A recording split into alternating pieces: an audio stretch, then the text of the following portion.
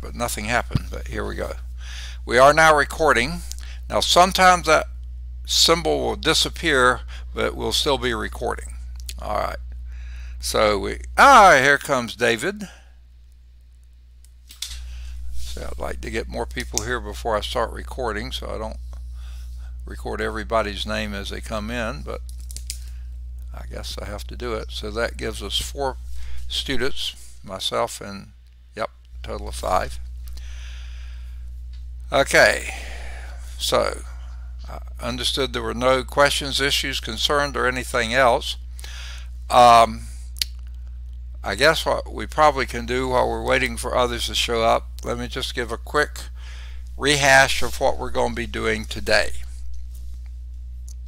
Okay, we've just got basically one slide left in chapter 19.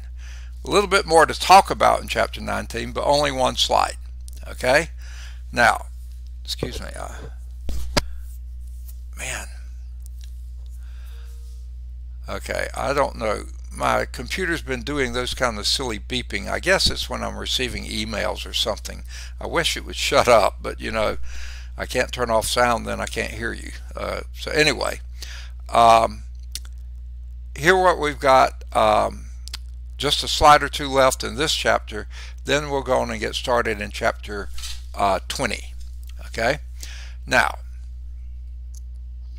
we will stop today again like we did last time at 415 rather than 445 okay? Because we do have a lab today. I do not think the lab will take us a full two hours but we're allowed two hours of lab time. We'll take whatever time we need uh, so we'll we'll do the lab from 4:15 till 6:15 though I think y'all will be through before that okay I posted the labs out there in uh, Blackboard messages. I don't know if any of you saw it. I had to get them ready and type up one part of them. And, um, okay, wait a minute. Here's Caitlin.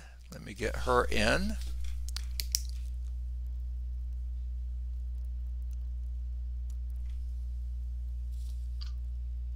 Okay, Caitlin's here. Okay. And um,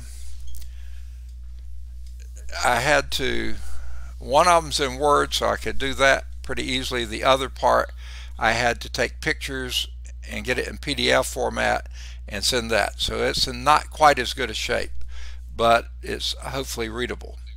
So if you haven't printed those pieces off, you may not be able to now, but um, that's what we'll be doing in the lab today. The part of the lab that came from the lab manual it's only got five questions okay? And it's a 25 point lab.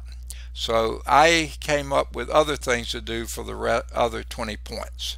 So we'll go over that and how to do it but you're pretty much going to be your own on your own for doing it. It's kind of going to be that part is going to kind of be like the um, remember the rocks and minerals lab where you uh, did the yeah Okay, it won't be that involved. I don't have a specific website to go to, but y'all are going to need to find you places to locate things and then record the information. Okay, I know that's pretty vague, but that's what we'll be doing in the lab. If any of you printed them out and say, where do we get this stuff? We'll talk about that when it's lab time. Okay, so at 4.15, stop me because we need to move on to the lab. Okay. Uh, so let's see. Have we got everybody we're going to get? We only got five people here. One, two, three, four, five. I just put four of you in the wrong day. No, two of you in the wrong day, but that's okay. All right. All right. Any questions before we get going today? Now, oh, here's one coming in, and only one. Okay.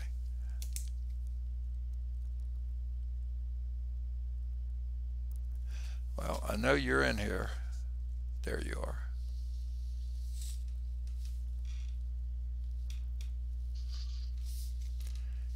I have to go halfway across the page here and it's hard to keep on track. Okay, there we go.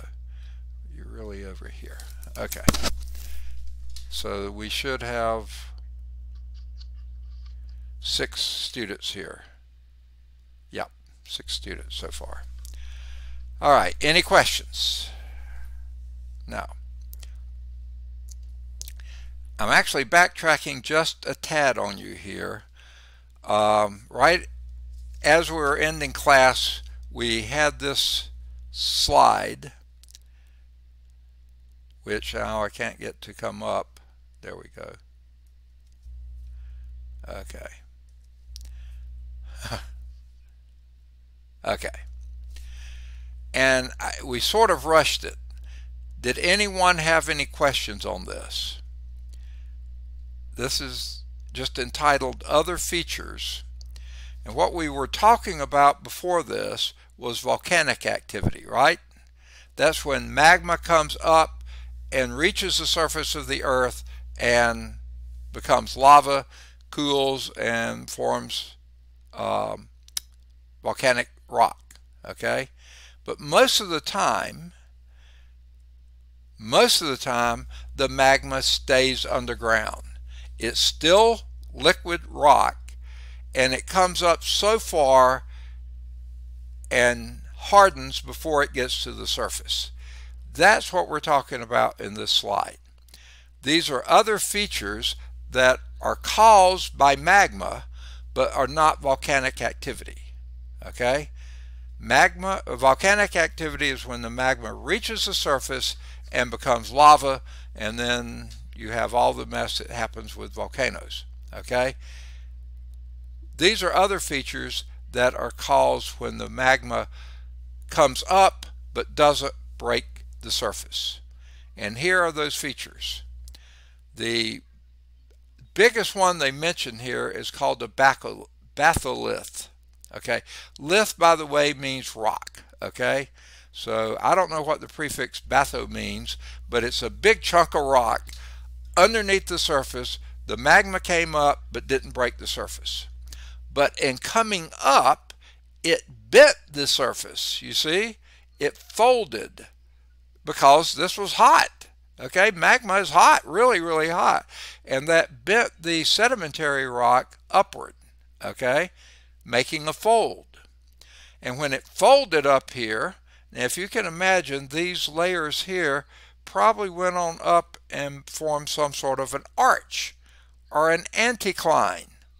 But when it did that, it stretched them, stressed them, and they probably eroded away in time and made their way back down here to other sedimentary layers, okay?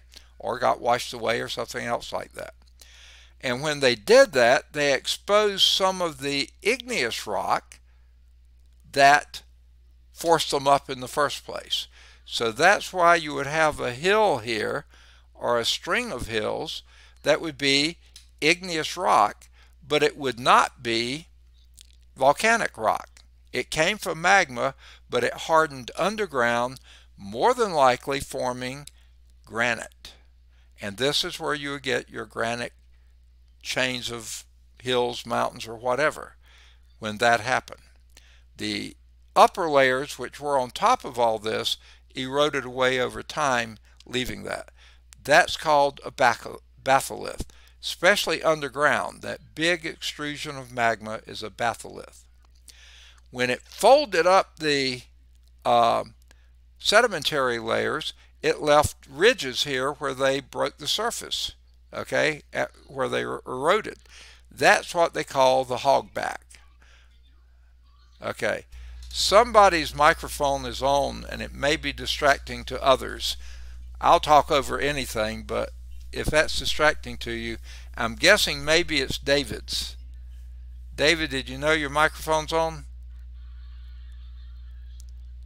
David, can you hear? David, are you even listening? Are you distracted by all that going on around you? Okay. If y'all can think of any way to get David's attention,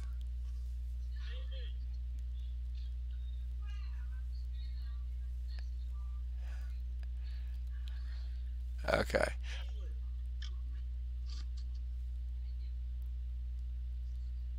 Okay, maybe that did it. It got quieter anyway. Okay, his microphone's still on, but at least the noise has gone away. I couldn't tell. I, okay, no problem. I couldn't tell if that was a TV or if it was actually people talking. Uh, okay, no problem. Thank you. Okay. Uh, and by the way, who was that? Nikaya? Or was it David? All right, whoever. Okay, so that was a batholith, and that was a hogback. The hogback would be the ridge of sedimentary rock that had been pushed up and the ridge where the erosion stopped and the, the sedimentary rock continued. That's the hogback. Now, a smaller protrusion upward that just breaks through some of the uh, sedimentary layers but doesn't cause any specific surface features here. But you run into these usually underground that's called the stock. It's like a batholith that didn't reach the surface. Usually smaller but it's an intrusion of magma into underground layers of sedimentary or other rock okay? Now Another type of intrusion is not a big intrusion like that, but a very small intrusion. Basically, the magma finds a weakness in those layers and pushes away, sometimes all the way to the surface, sometimes not. Okay? If they're vertical intrusions like that, very thin, just finding cracks or crevices to go through, the vertical ones are called dikes okay? And you can sometimes see a ridge or something on the surface where the dike has emerged and suddenly you get sedimentary rock and find some igneous rock in the middle of it, okay? Other times the dikes don't reach the surface, but you'll run into them underground. Those are vertical or near vertical intrusions, usually thin cracks. Sometimes those dikes will come up and hit a weakness in a horizontal layer. And then they start, start filling the horizontal layers. Those intrusions that are more horizontal than vertical, those are called sills, S-I-L-L. Okay? Now again, you'll probably never use these terms again, but if you ever do see them, you'll realize what they are. Now, let's say you had a dike that found a weakness near the surface and bent up some of the uh, surface layer uh, layers, you know, folded them upward. That's an anticline again here, uh, arching fold, but didn't quite break through the surface like a batholith. Number one, because they didn't have nearly as much of a source because they were coming through a very small dike, but they did make hills raised intrusions. The top of this is still sedimentary rock. Now some of that may have eroded away, but still the top is sedimentary rock, sedimentary layers. But you don't have to go down very far until you find the magma that pushed its way up. Okay? That's called the laccolith. Okay? It's kind of like a batholith, except that was a big intrusion that did some major folding. This is a much smaller intrusion. The weakness was found fairly close to the surface and bent the surface upward. Okay, folded the surface upward is a better way to say it.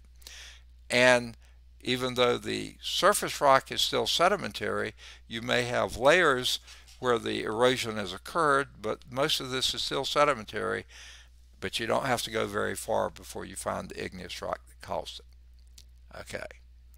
Those are those, I think it's nine surface fixtures.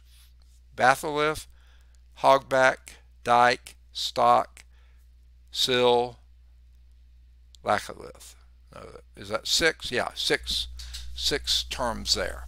Okay. So anyway, that picture sort of illustrates those. Any questions on those features? I was afraid we rushed them too much at the end last time. Any questions? Okay. So what's our overall pictures here? Okay.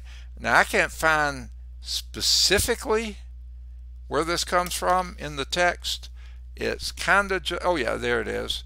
Uh, it's on page 499 if you got this book, uh, 1919 if you don't have the big book. Um, overall picture, mountain ranges are composites of many different processes. Each of them uniquely structured. That means each of the mountain ranges. You have some folding, perhaps because magma uh, in, intruded upward but didn't break the, break the surface, folding the, excuse me, I've got to sneeze, sorry.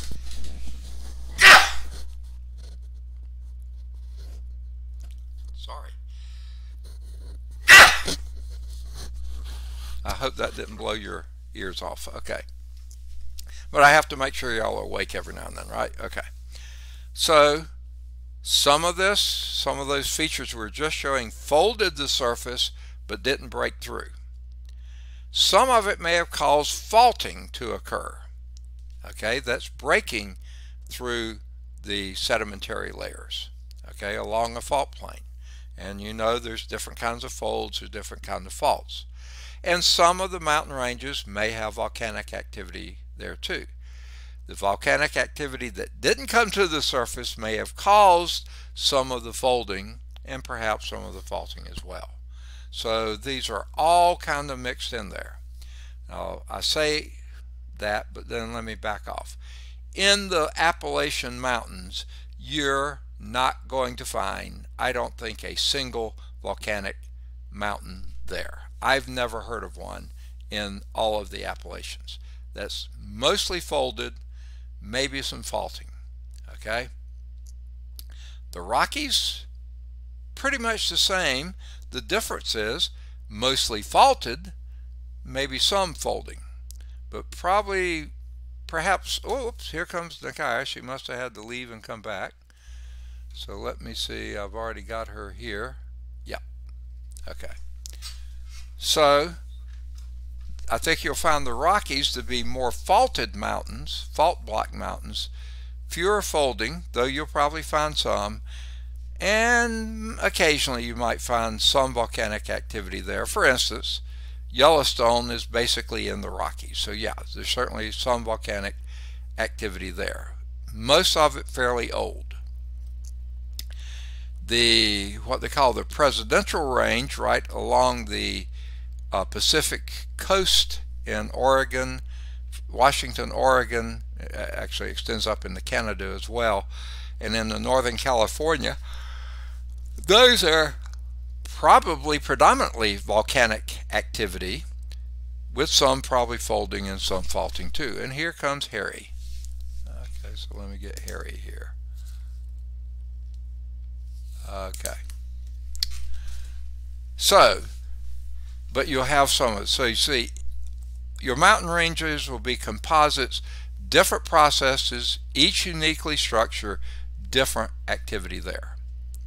Now, this is especially apparent along converging plate boundaries. For instance, the Himalayas. The Himalayas are where the uh, Asian plate is converging with the India Australian plate and at that point they're both continental plates though the India plate has some uh, oceanic crust in it as well but at that point it's all continental crust and where those are colliding you have probably I don't uh, hard to say which I would say probably more faulting you probably have some folding and you certainly have some volcanic activity. Probably not as much as you would expect, but probably some.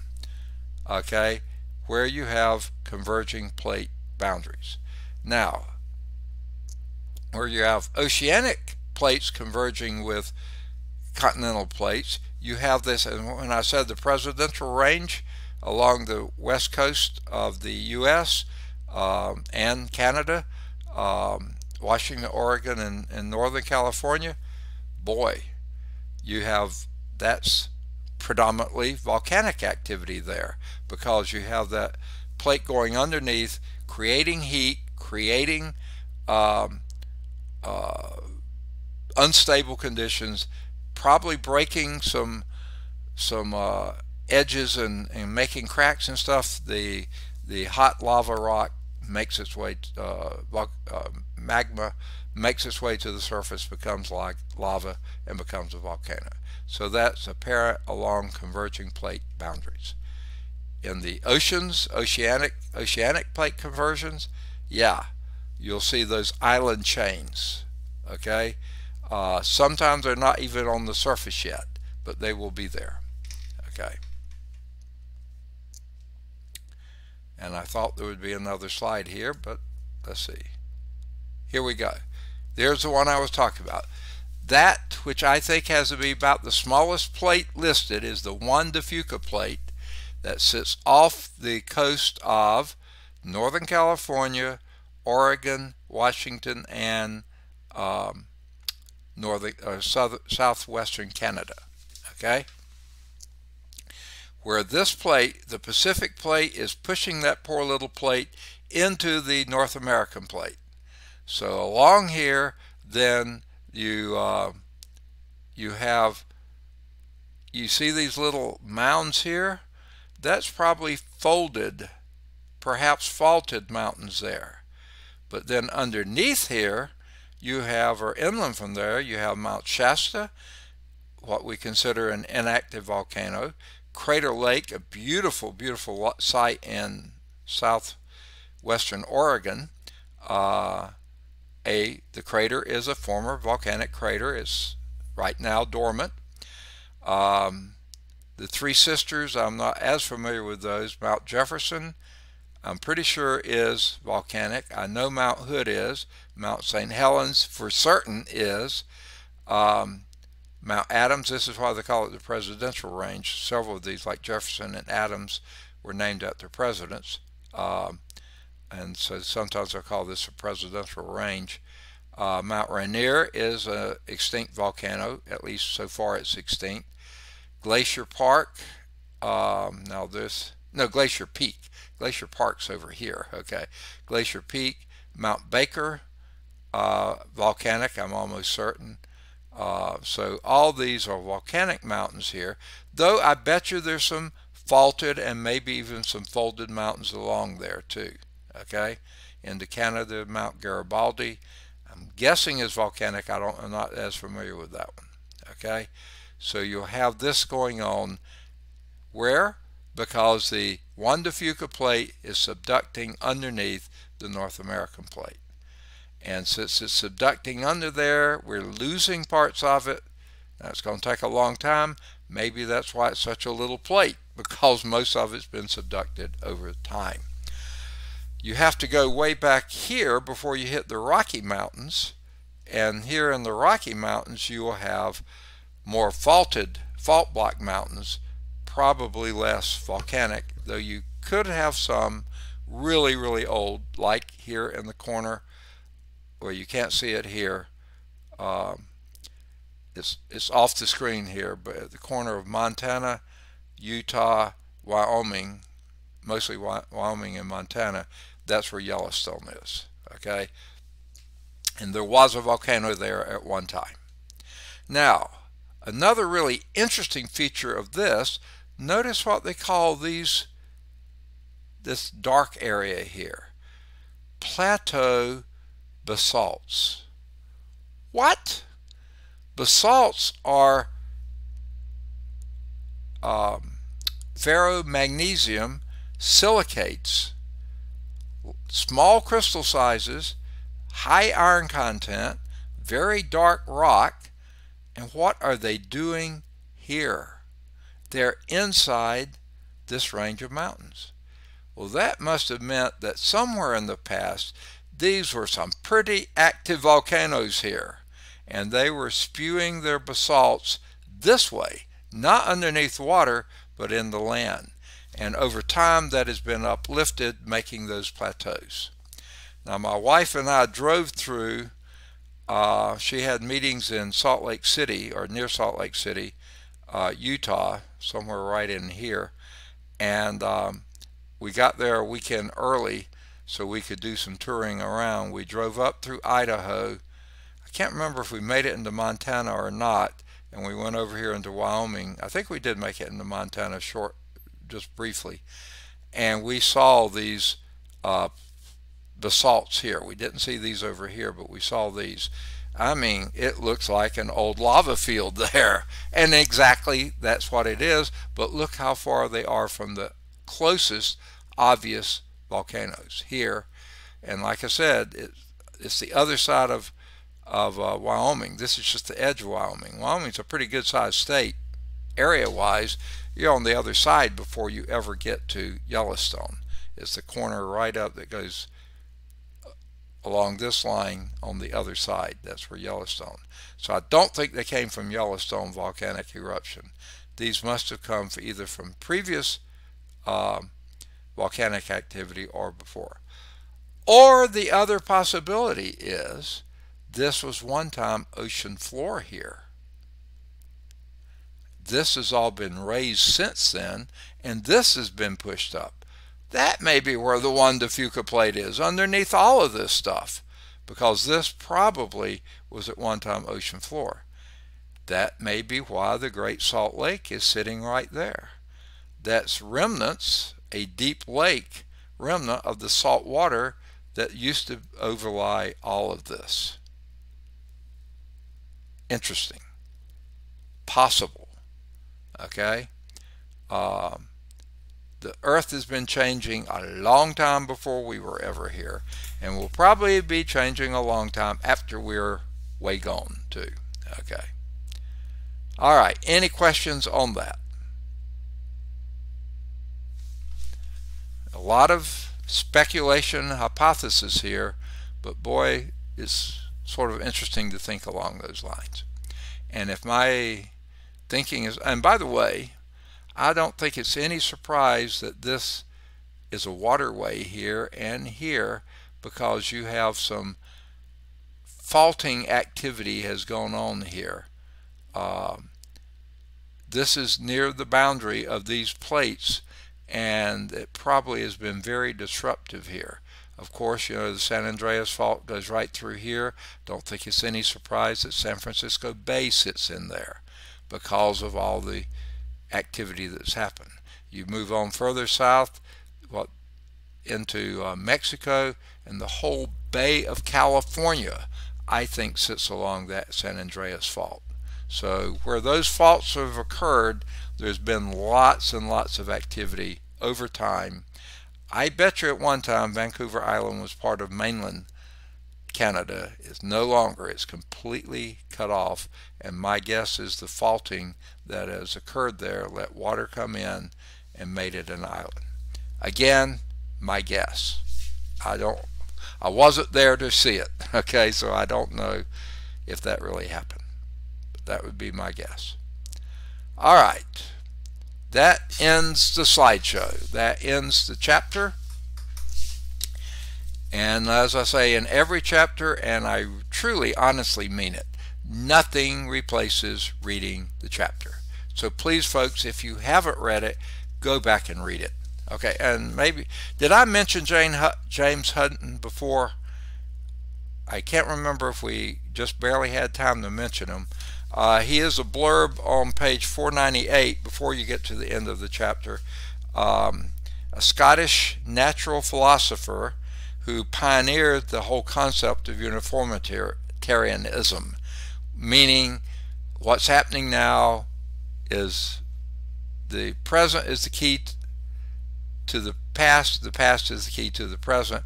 What's happening now was happening before. You know, all things. Uh, it almost sounds like Ecclesiastes, doesn't it? But anyway, it's uh, uh, what has been happening before, still happening, what's happening now, more than likely happened before. So he's a potential paper topic. However, this is not the source for your paper if you wrote on him. You have to go to an outside source to get the material for him. The book is not your source. The book's a great source for ideas for your paper, but it's not the source for your paper itself. Why am I talking so much about the papers? So far I've received zero from this class, okay? And we're more than halfway through the term, folks. Jacob is here. Let me get him in here.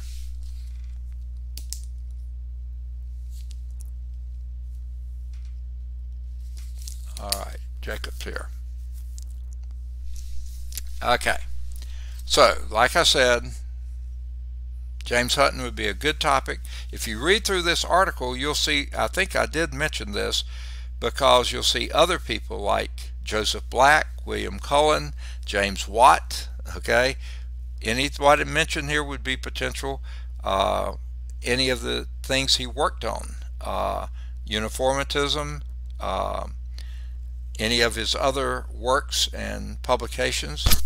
Um, Sir James Hall is mentioned, um, and many others are done. Um, Hutton came up with ideas that were not popular at the time, later proved to be true, so he was proved to be right, but he wasn't always accepted as right. That happened a lot in science. Still happens. Okay? Now, the summary that's given at the end of the chapter is to me one of the shorter summaries. Okay? But it has a lot of italicized words, which are key terms, which are then mentioned also in the key terms. And again, that list is a bit shorter than normal.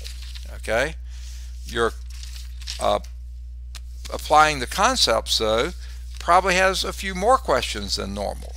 It has 50 multiple choice questions. Now, in this chapter, this is a unique chapter. Um, I made up a test from their test bank. But as I was just reading through and going through the things, I said, why are they picking at these nits so strenuously? In other words, they were asking questions about things that were just, it didn't seem like to me to be all that. Oh, oh, Caitlin must have gone out and had to come back because uh, I think I already got her here. Let me make sure. Yep. Yep, I got her here. Okay. So what I did, I changed the multiple choice. Now there may still be some multiple choice on it, maybe a couple, but I changed them to mostly fill in the blanks. Okay? So this test is a bit different from the others that it's mostly fill in the blank. And the reason I did that, their multiple choice questions, they were they were straining at gnats to swallow camels. I mean, it was just uh, I, I didn't care for their questions at all. So I just went back and made up an, another test. So it's going to be a one-page test, but it has many parts to it. Okay, uh, so you'll need to, if you haven't read the chapter already, you'll definitely need to read or at least portions of the chapter to find those points. Okay, so but the applying the concepts will still help because it's still covering the same material that we've talked about. Then there's questions for thought. There's 17 of those. That's about normal. Uh, for further analysis, four, that's pretty close to normal, maybe a little on the short side. Uh, 17 maybe a little on the short side. Uh, there is one invitation to inquiry about the earthquake patterns and I think some of those questions are very interesting questions. They give a couple websites you could go to.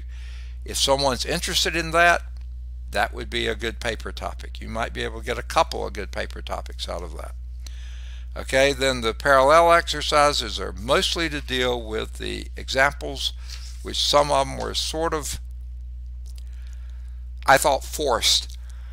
Uh, so that's completely up to you whether you want to pursue those or not.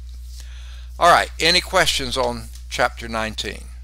And like we said, we will have the lab starting at 4.15, so just a little over an hour from now, we'll stop chapter 20 and start the lab for chapter 19.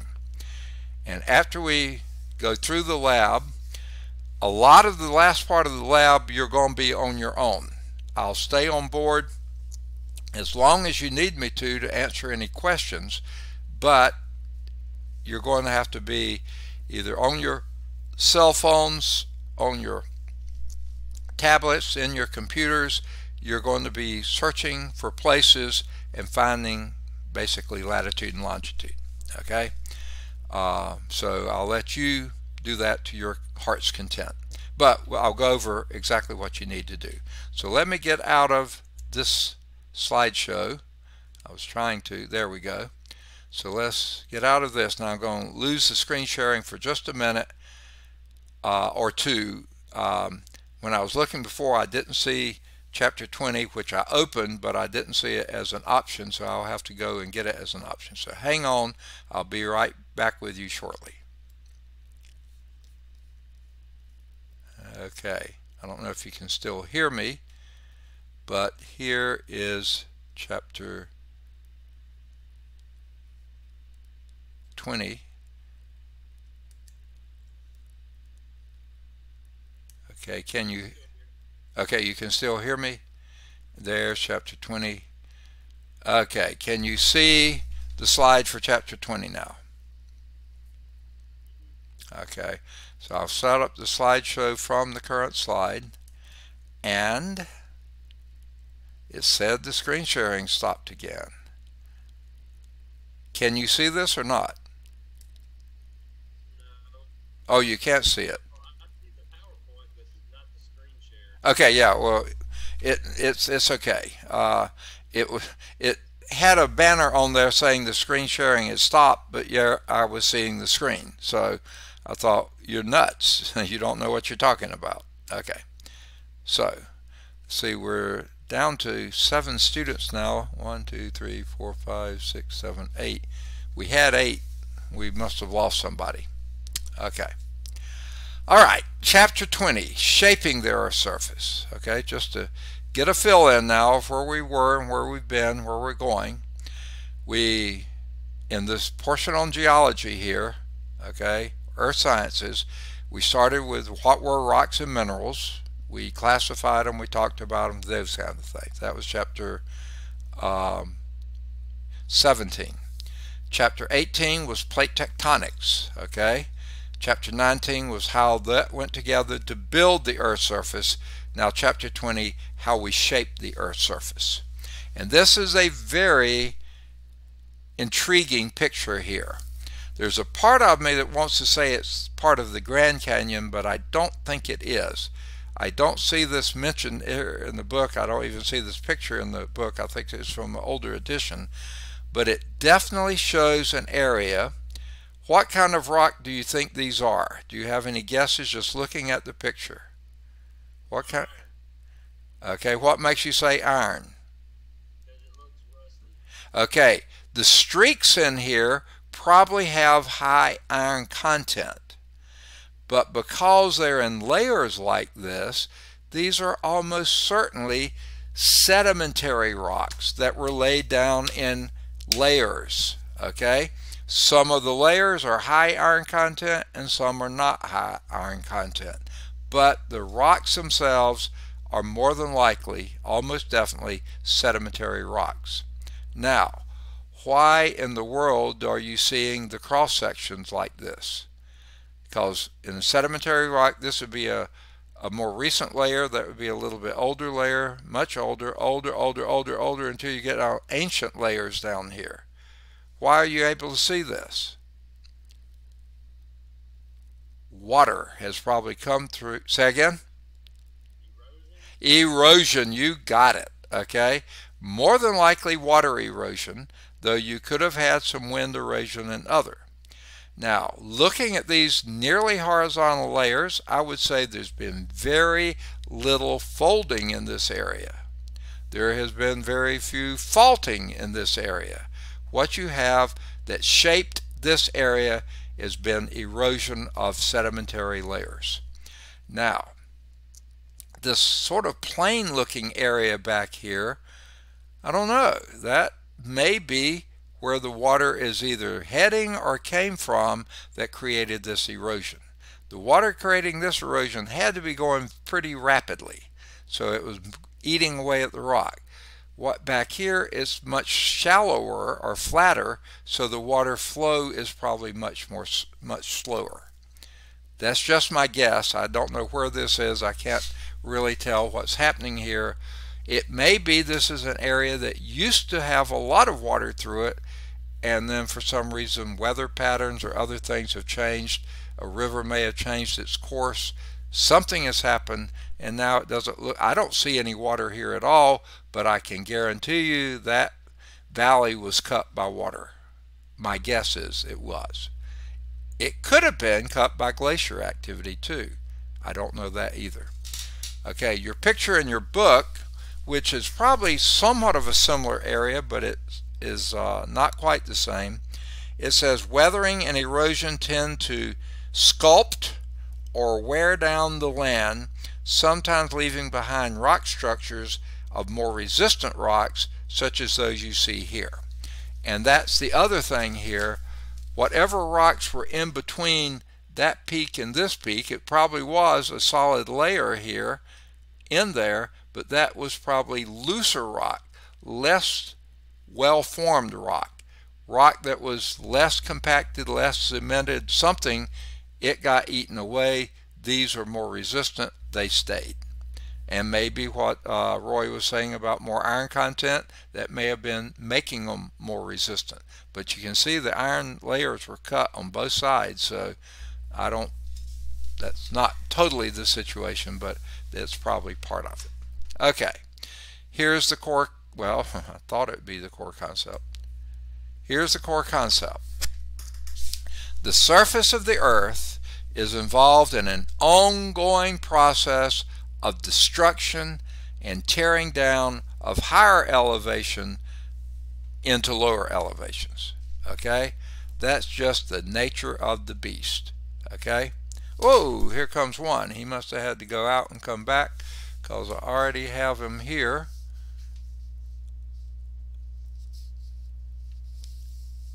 Yep, I did mark him here. Okay. Now, does anyone know what this is a picture of? I know some people will make some really logical guesses. Okay, in a sense it sort of is, but it's a natural dam. It's not one man-made. Okay, uh, it's sort of what we were just sort of kind of talking about before. Um, the picture that was in the book uh, of this, you'll see it a little better. This is harder to tell here. Uh, these rock right here, I'll tell you, they look a little bit this way here, but as the nature of the picture is not good. These are very yellow rock. Does that give you a hint?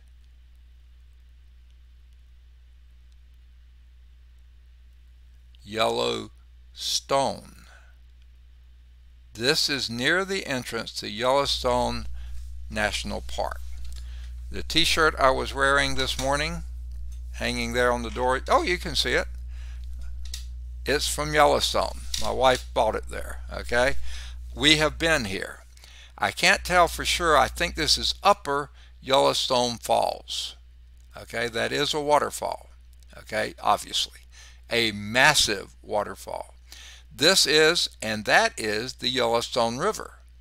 Up here, the water's going, the river's going fairly slowly, but here, obviously, moving quite more rapidly. Much more drop off here. Here's a part that's probably hard to imagine. Above the picture here is where the surface of the soil used to be. That water has eaten away and eaten away and eaten away ongoing process of destruction and tearing down of higher elevations sorry into lower elevations. Notice this is a deep v-shaped valley meaning highly eroded fairly young in geological age okay? Now the other part of this is this Yellowstone River from up there and here running down is going to hit another waterfalls that's almost as spectacular as this one, maybe as much so. Okay, and that's called the Lower Yellowstone Falls. And then somewhere below that, not too much farther below that, you get Lake Yellowstone. And what Lake Yellowstone is, is the crater of one enormous, enormous volcano. Unbelievable the crater could be that big. That lake is huge. And it's just part of the crater because part of it is filled with other mess, okay? It's just a little bit of that crater is filled. In fact, when you drive through Yellowstone Park, which can take a long time, it's not a small park at all. You cannot see it in a day, not and do it any justice whatsoever. Uh, it's, it's huge. And you'll be driving along and you'll see you're passing the caldera, uh, caldera of the um, volcano. In other words, the rim of that uh, crater. You know, you'll be passing over, in and out, over and under. Sometimes you're inside it, sometimes you're outside of it. It's an incredibly fascinating geological process. Here's what I can tell you. These rock back here, very resistant to erosion. The rock that used to be here, they were not so resistant. That's why they're no longer there. That's why you have a valley here, because in between here and here was solid soil, solid rock. And you see some of that soil is rock has degraded into soil, and that's why you have trees growing here and here. And by the way, those are not small trees. Those are very tall pines, very, very tall pines. This is an incredibly majestic uh, view. Upper, I think it's Upper Yellowstone Falls. Please, folks, if you ever can do it in your lifetime, when you retire, sometime in your life, when your kids are young and you can afford to take them, get them to Yellowstone. It's just a fascinating place to, see. Can't do much of it now because travel is hard to do, but when things get better, try to get there at some point in your life. It's well worth the effort. Well, I can't advance till I touch the screen again. Here we go. So we've been talking about this concept of weathering. Uh, I think Roy used the term erosion. Erosion is one type of weathering. But weathering in general is a very slow change, slow changes resulting in the breakup crumbling, and other destruction of what used to be solid rock. Okay? Now, erosion is what happens to it once it's broken up. Weathering is what does the breaking. Okay? There's usually three types of weathering. Physical. Now, that has another name. The next slide is going to use the other name. Mechanical weathering, physical weathering mean the same thing basically synonymous. Number two, chemical weathering. And number two, biological weathering or biological processes that lead to the slow changes resulting in the breakup, crumbling, and other destruction of solid rock. Okay, we'll look at each one of those separately. Basically, here's the synopsis. Physical or mechanical weathering is that weathering that is just doing breaking and crumbling. Okay? Chemical weathering is actually eating away at the rock. You're changing the rock's chemistry, which makes it break apart, crumble, and do things like this. Biological processes are those that may have some physical nature to it, may have some chemical nature to it, or may be just purely biological its interaction with living organisms, as in trees or possibly animals, more likely trees or plants that are actually breaking away at the rock. Okay? You don't think a tree can do that, we'll see examples. Now, this weathering process contributes way back there to chapter 17, the rock cycle. Remember, all rock were at one time igneous rock igneous rock weathered and became usually sedimentary rock. Okay? Sedimentary rock then could break apart and go back, or they could get buried and become metamorphic rock.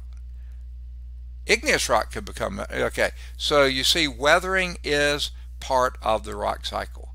Without the weathering, you wouldn't have any sedimentary rock at all, period. Now, the chemical weathering may lead to chemical sediments, whereas the physical weathering may lead to clastic sediments. So you see, everything we've studied is still appropriate here.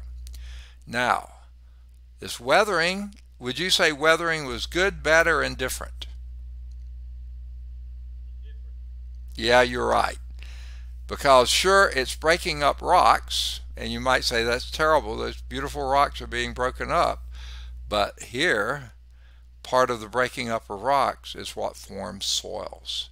Without soils, we do not live. Because soils, uh, I have a bookmark that I use in books that I'm reading. It says, soils sustain life. And you can't get a more true statement than that, okay? Without soils, we're dead, okay? Because we can't grow the food we eat. We can't, animals wouldn't have the forage they need. We wouldn't be here if we didn't have soils. But weathering also contributes to the term Roy used before, erosion, which is where we lose soils. So weathering can be good, formation of soils, it can be bad by making soils erode away. Okay, so it also contributes to movement of rock materials over the Earth's surface. And we'll talk about that feature of uh, some of all of our weathering, physical, chemical, and biological, mostly physical though. Now, erosion, that's usually bad, okay? It's the process of physically removing the weathered materials. Generally, we don't want that to happen. However, as we'll learn, sometimes some areas benefit greatly from other places' erosion, which again is this circular pattern of things always changing, always evolving, and winners and losers. Okay, so let's start with the first, and remember I said physical weathering is also called mechanical weathering. Okay, now that's the physical breakup of rocks without any chemical change. So whatever the rock was before, when it was a big chunk of rock, it just broke. Think of this. Let's say you had a big rock and you had a sledgehammer and you took the sledgehammer and hit the rock with it, maybe many times, and after a while you do break the rock into smaller pieces of the same kind of rock. You haven't changed the chemical nature, you've changed the physical nature. Where those uh, bonds were holding the rock together, the crystal structure were holding it together, they've been broken by the weathering process. That's mechanical weathering. You breaking the, the rocks apart without changing their chemical composition. Okay, now these are usually called disintegration processes, and here's two of them. And we've mentioned this one a little bit before. Let's start with wedging. Now, that's not what you did to your younger brother. Don't get that confused, okay? What wedging is, often caused by frost, or I would say ice. But it can be caused, now here's where things get crossed up, if it's caused by trees, wouldn't that be biological weathering? It would, okay? But it's also trees are mechanically weathering things as well. And we'll find out later, trees are also chemically weathering. So the three of them get all mixed and mangled together. So here's what wedging is. All right. At some point, this rock got a tiny, tiny, say just a hairline crack in it, just a little crevice. And what happened to that rock? Some moisture went down into the crevice. A little bit of water. Now, water, I think we've mentioned before, has to be one of the most fascinating substances on the planet. Now, it's the most common substance on the surface of the earth because most of the surface of the earth is covered with water, sometimes miles of water. Okay? But it's also one of the most fascinating materials. And I'll give you a few reasons for this, and they, they kind of, the reasons sort of tie together. Water is two hydrogens and one oxygen. Okay? Now, I set them that way because the two hydrogens tend to be on one end of a water molecule and the oxygen on the other end. It's not that it's hydrogen, oxygen, hydrogen. No, it's never like that. It's hydrogen, hydrogen, oxygen back here or over there. Okay? Which makes water what we call a polar molecule. It has a positive end and a negative end. The hydrogens are slightly positive, the oxygen is slightly negative which makes water an incredibly good dissolver.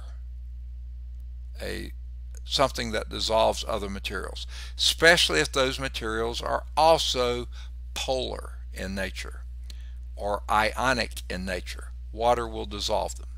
Okay. Now, the reason I said that is there is a really good chance that that small hairline crack that was in this rock may have been caused because water got down in the crack and started dissolving away some of the softer, more soluble minerals. Okay, that would have been a chemical process, which we'll get to later. However the crack got there, water found a way in. Okay, now here's another reason that water is one of the most fascinating materials out there. Okay, and it sort of has to do with that polar nature of a water molecule. Okay? Water ought to be a gas. Because if you think H2O, hydrogen 1, another hydrogen 1, oxygen a mere uh, see what is oxygen? Is it 16? no 8 H2O so its molecular weight is 10 no did I look at it right? No it is 16 I knew it was 16 okay molecular weight is 16 which means water has a I mean oxygen atomic weight is 16 so water's molecular weight is 16 plus 2 is 18 I would say every other substance on the earth with that small of a molecular weight is a gas. At normal temperatures and pressure, it's a gas, not a liquid. Think of some of your gases. O2, oxygen gas, there's two oxygens in that, that's 32. It's a gas. Nitrogen 28, it's a gas. Uh, carbon dioxide 44, it's a gas, okay? Water at 18, why is it not a gas at normal temperatures and pressure? Because water has those strong hydrogen bonds and it doesn't let it the other molecules fly around they cling together and form a liquid okay now so another fascinating feature of water for anything that light of molecular weight, it ought to be a gas, yet it's a liquid at normal pressures and temperature. Thank goodness it is. Okay. Now to do with that again, how is that causing wedging? Well, let's go a step further. Those water molecules, which tend to stay real close to each other, because you see the positive hydrogen end of this one is attracted to the negative oxygen end of this one and the next one and the next one and they stay in really close contact with each other even though they slide past each other okay but when they get cold enough reaching the freezing point approaching the freezing point then suddenly those water molecules start rearranging to form their crystal structure Okay. Now, back off for a minute. Just about every solid on the surface of the earth, just about every liquid on the surface of the earth, or anywhere, and just about any gas anywhere, when you cool them, the molecular motion slows down and they tend to shrink just a little bit. Metals will reduce in size when they get colder. Not much, but a little bit. Okay? Everything will. They get tend to get a little bit smaller when they get colder. They tend to expand slightly when they get hot. Now a gas expands big time or contracts big time when it heats or cools. Water? Water between 100 degrees Celsius, which is the boiling point of water, 212 Fahrenheit, and the freezing point of water, well, not quite, 4 degrees Celsius, which is 4 degrees above the freezing point of water, in between 100 and 40 and 4, okay, water does contract just a little bit. Just a little bit. At high temperatures, it tends to be a little more expansive. At cooler temperatures, a little smaller until it gets to 4 degrees Celsius. Now that would be around 40 to 38, something like that Fahrenheit somewhere in that range. Maybe, yeah, somewhere in that range. At that point, when it cools, now those water molecules start rearranging themselves into a crystal structure which actually push them further apart. Water is one of the few, if not only, naturally occurring materials that expands when it cools only between 4 degrees and 0 degrees, but that expansion is pretty abrupt. It's pretty large. All the contraction that happened between 100 degrees and 4 degrees, or just about all of that, is nothing compared to expansion that happens between 4 and 0 degrees. Now what's a ramification of that? Do you remember I'm guessing about four or five years ago when they had what they called the Arctic vortex that came through and dropped the temperatures here in Alabama to single digits and maybe a few places actually I'm, I'm talking on the Fahrenheit scale and maybe in a few places even below zero on the Fahrenheit scale. Do you remember that? Do you recall it? Okay. One reason I recall it is that we got a burst pipe. Okay? Um, we started hearing some water running somewhere and we looked and could see it in our basement between the false wall and the permanent wall of the house. You could see water running there. A pipe had burst. It was near a vent that was to vent the crawl space uh, that you couldn't close and it got so cold it broke a pipe, the one that went to our washing machine. We had to have them come in, tear up our tile floor, um, find the leak, get it patched, and get it repaired. It it was, and we had no water for a while. Okay, we had to turn the water off, and it was very very cold. Okay, um, why did that happen? When water froze, it expanded and it expanded enough to break a steel pipe. That is no mean feat. Okay? So how does that contribute to wedging? Well, that water gets down here in that tiny little hairline crack, but then it gets very cold. And when it gets very cold, it freezes. And what happens when it freezes? It pushes the rock further apart. Then it's no longer a hairline crack. It's a little bit bigger crack. So the next season, more water gets in the crack. And then when it freezes, pushes it further apart. That's wedging. Pushing it apart until finally it does break. What was a big rock is now two smaller rocks. That's weathering. Physical breakup without chemical changes. Now I can't say there wasn't a chemical change that sort of created that crack in the first place? Maybe, maybe not, but the physical change, physical weathering is what made it break away. Now, another example of this is exfoliation. Any of you ladies know what exfoliation is? Or maybe you guys do. Oh yes, okay. They take that something almost like pumice or something and remove those outer layers of skin that are beginning to flake off anyway to give that nice smooth skin glow you might say. Well that's the same thing that happens with rocks.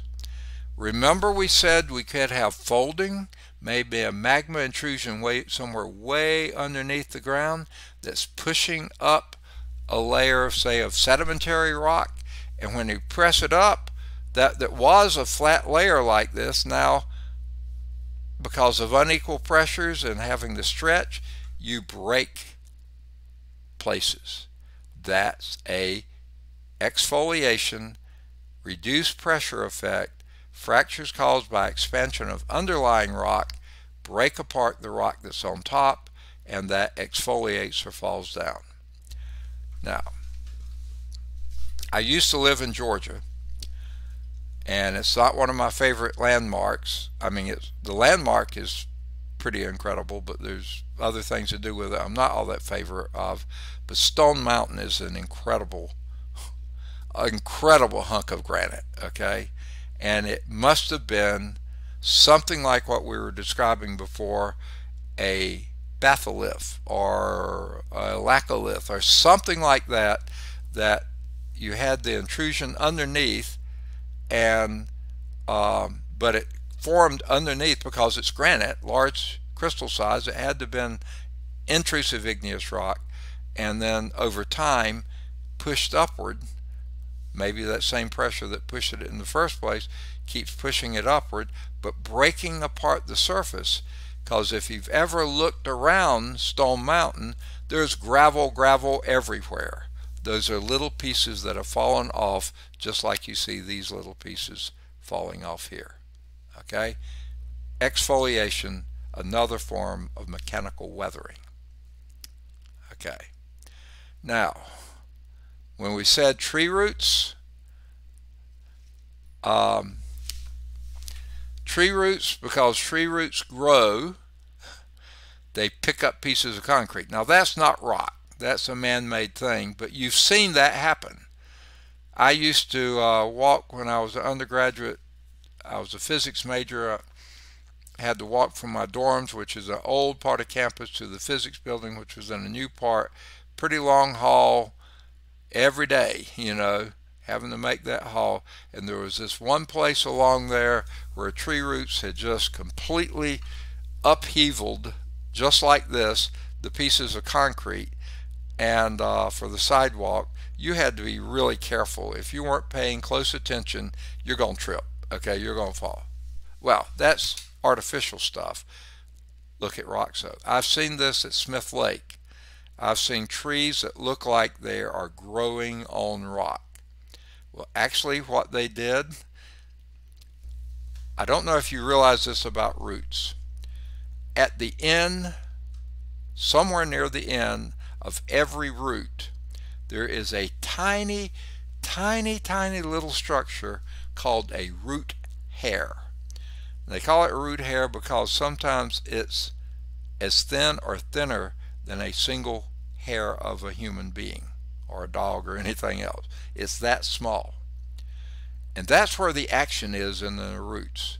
Because those root hairs have thin enough walls to them, they can suck in moisture, they can suck in nutrients, okay? They can also expel stuff. And part of what they expel is an acid. And the reason they expel the acid, they're trying to, in a chemical sense, break that, that rock or that gravel or that sand or silt or clay apart and suck out the nutrients they want. Okay? I wouldn't be at all surprised if before this tree was here, part of this was all one solid rock. And what the tree has done is sent out little bitty root hairs into little bitty crevices in that rock.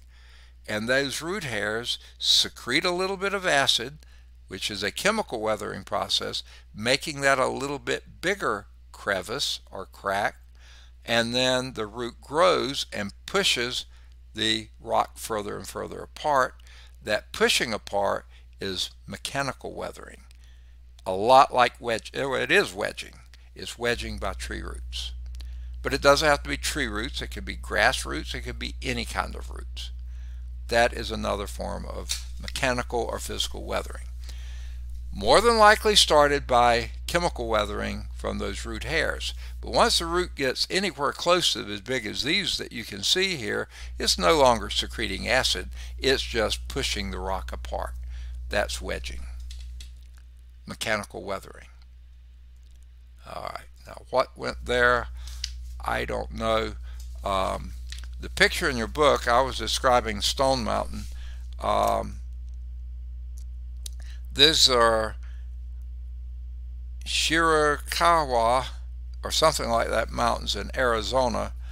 Uh, you can see the gravel, boulders, other things that used to be part of that mountain range. That's all that's left now. Okay, pieces of rock, and that probably was largely physical weathering. Not necessarily totally. None of this is ever total. They all work hand in glove. Okay. Um, I have several other pictures in the book. One's a little girl walking between rows of trees and if you look carefully you'll see the pavement has been upheavaled by the tree roots. That's just uh, other examples. Now, at some point here, they move from physical weathering into chemical weathering.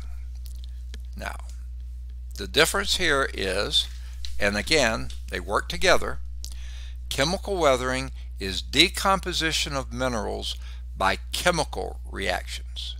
Now they say minerals, it's not just minerals, it could also be rocks, just not strictly minerals, but also minerals. Now they mention three of these uh, chemical reactions. This isn't all of them. Uh, the first one they mention is oxidation. Now whenever you say oxidation, you should slash it and put reduction because whenever oxidation occurs, something else is being reduced okay but we're not going to get into that part of that. That's a little deeper chemistry than what we need now but what is oxidation anything reacting with oxygen okay now let's go back when we were talking in chapter 17 about ferromagnesium silicates those are those with high iron content what was one of the characteristics of the high iron content minerals and rocks? Dark color because that iron is usually very blackish okay? Think about magma which is mostly iron that comes out of volcanoes. Very dark rock. The um, if we had been in class to do the what would have been the last lab uh, when we would have measured the density of granite versus basalts, two different types of uh, silicates, we would have seen those with higher iron content were dark. I mean, uh, I could take my computer into our bathroom and show you basalt rock that they used as part of the uh, flooring in you know the tile floor in the in the bath it's not really tile but similar to that in the bathroom the dark streaks are actually um, basalts okay but when iron reacts with oxygen what does it produce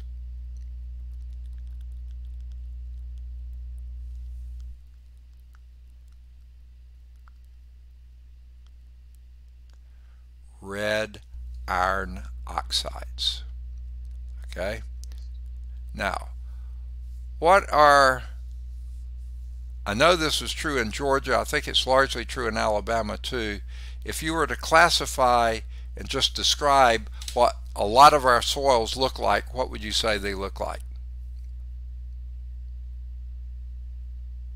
Drive through. Say again? Red. And you call them red clays. And indeed, the red color is on clay particles.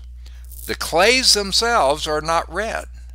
The clays themselves are usually a milky white, sort of colorless kind of thing.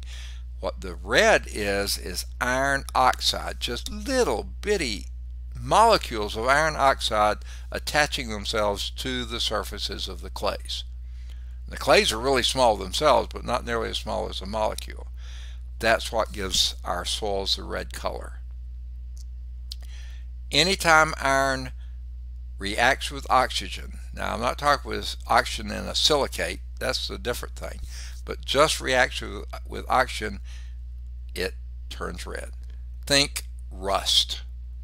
What was a dark, maybe shiny metal, once it rusts, it's reddish, okay?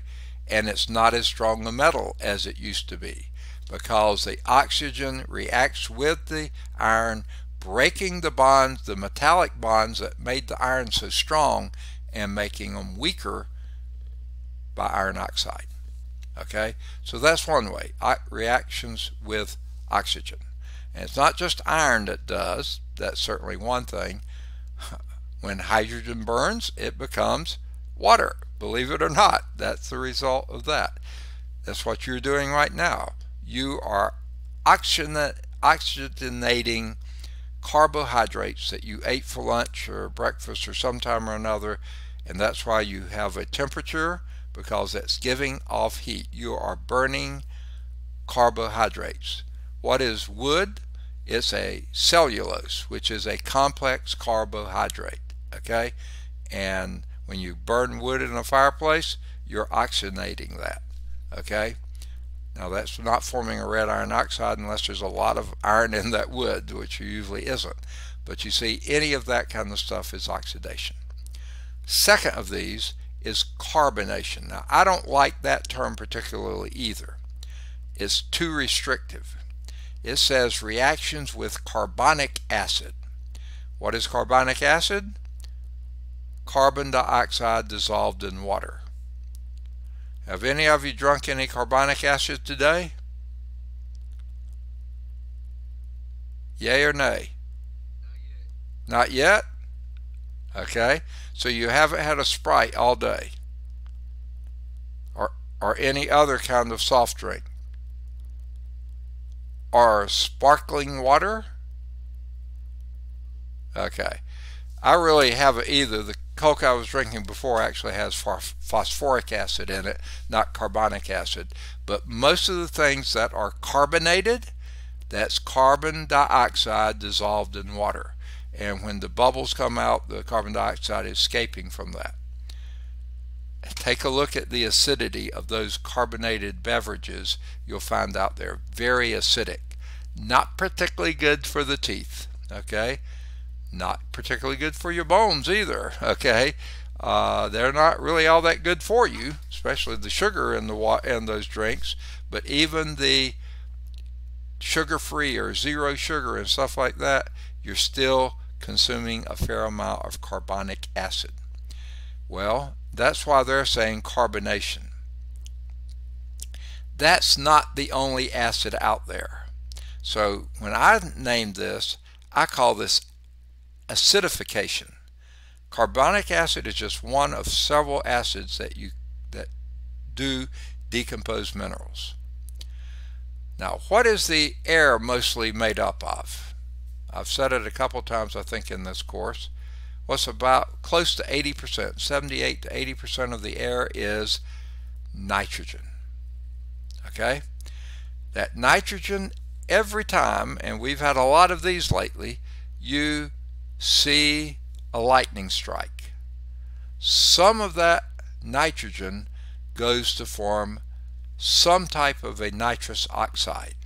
That could be nitrogen oxide, nitrogen dioxide, nitrous oxide, some type of an oxide. Okay? When that nitrogen oxide combines with water, which it usually does in a thunderstorm, right? Now you form generally a fairly mild form of nitric acid. Now, nitric acid is way stronger than carbonic acid, but you don't have as much of it, okay? But when you also have, especially in air that's been fairly polluted over time, and you have any sulfur dioxide in the air, which you do have with smog and, and other things. Anytime you have a fossil fuel plant, something that's burning, um, especially coal. Coal is really high in sulfur, okay? But even gasoline and diesel and anything like that, you're going to have some sulfur in there. When you burn sulfur, it becomes sulfur dioxide. When that combines with water, which it does when it rains, you get some type of sulfuric acid, which again is much stronger than carbonic acid. You just don't have as much of it as you do carbonic acid. And there's many other things out there, like I said, phosphoric acid. Uh, there are other acids. If any of those acids hit a rock, it doesn't matter what the type of acid is, an acid will eat away at a rock. Okay? So that's why I don't like to call it carb carbonation. I call it acidification. That includes carbonation, but any of them. Now, any type of acid will, and they say easily, it will over time dissolve limestone. Now, it seems like it may have been Valerie that was asking, and I'm really surprised she's never been this late before, but I know every now and then she has to work or take people to the doctor or something like that. But she's not here today, I don't think. Has she checked in? I haven't seen her. But she asked one time about what causes sinkholes. And this was one of the answers I gave is that normal rain is slightly acidic because it has either some nitrogen uh, acid some carbon acid, carbonic acid, or some sulfuric acid, or some type of acid in it, because rainwater itself is not neutral. It usually is slightly acidic, and that acid water over time dissolves away limestone. And what are most of our underlying stone, uh, ground, uh, oh, I can't think of the name of it, uh, bedrock in Alabama is limestone. So that's what causes some sinkholes. Okay, not always, but some. So limestone is just one, but anything. Remember when we said the lithification process of making those sedimentary rocks? Two parts, compaction. The second part, cementation. That cementation, those compounds that tend to make those grains of your clastic minerals stick together and hold together, carbonation or acidification will eat away at the uh, at the cementing agents and then release the grains. There you've gone and dissolved away what was a rock and now has become fragment again, clastic materials again. So there's acidification or carbonation. The third is hydration. And that's the one I was mentioning before. Reactions with water. Hydra means water because it's hydrogen oxide, right? Uh, and when you're trying to rehydrate, you're drinking more water. Okay, dehydrate is losing water. Okay, hydrate, hydration is water. Reactions with water. And as I said before, one of the most fascinating things about water is its incredible ability to as a solvent. It, it dissolves so many things, and that's why I said that uh, uh, rock that you had the wedging in could have started with hydration. Water dissolved away some of the cementing agents that was holding that rock together. Because remember what a rock is? A rock is a collection of different minerals held together somehow, more than likely cementing agents, and the hydration could have dissolved some of those away. Now again, if it's slightly acid, you're eating away at it, but water itself will just simply dissolve it away. And that happens too. Okay? Now,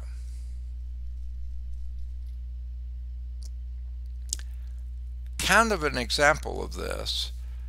Um, now, this is a naturally occurring rock, I admit that. The um, concrete that is our driveway. Our garage, the face of the garage, we don't have a gutter on that and water just drips off of that. Okay? And if you look closely at the bottom where that water drips, you'll see that the concrete has been eaten away there more than it has just a few inches either on the inside side or the outside side. Why? That water is reacting. It is dissolving. And maybe a little bit of it because of carbonation. Yeah, possibly that too. But water is eating away or dissolving. So hydration is the third of many kinds of chemical weathering, but the three major. Okay? Let's see. Now, this is a picture I think that's in your text on page, my page 509. It could be your 20-5. Um, I can almost guarantee you water ate through this valley and ate away the harder part of rocks, leaving the more the more resistant rocks here. The reason I say I can almost bet that it's water, look how rounded some of those are. If you see a lot of roundedness to rock, then remember when we were talking about uh, your clastic sedimentary rock made out of gravel fragments. When they were angular, we called them breccia, and when they were rounded, we call them conglomerate, or vice versa. I never can keep those straight. But those that were rounded, more than likely meant those pieces had been undergone a lot of water interaction. Do any of you know what pea gravel is? There's a little pieces of gravel that are almost always rounded because they come usually at the bottom of a river or something like that where they've just been worn away, worn away, and worn away by water. So this is probably limestone here, and where the weaker limestone was weaker, you have the caves, the holes, the gaps there, where it dissolved more away, either the acid rain or just the water dissolving away that created there.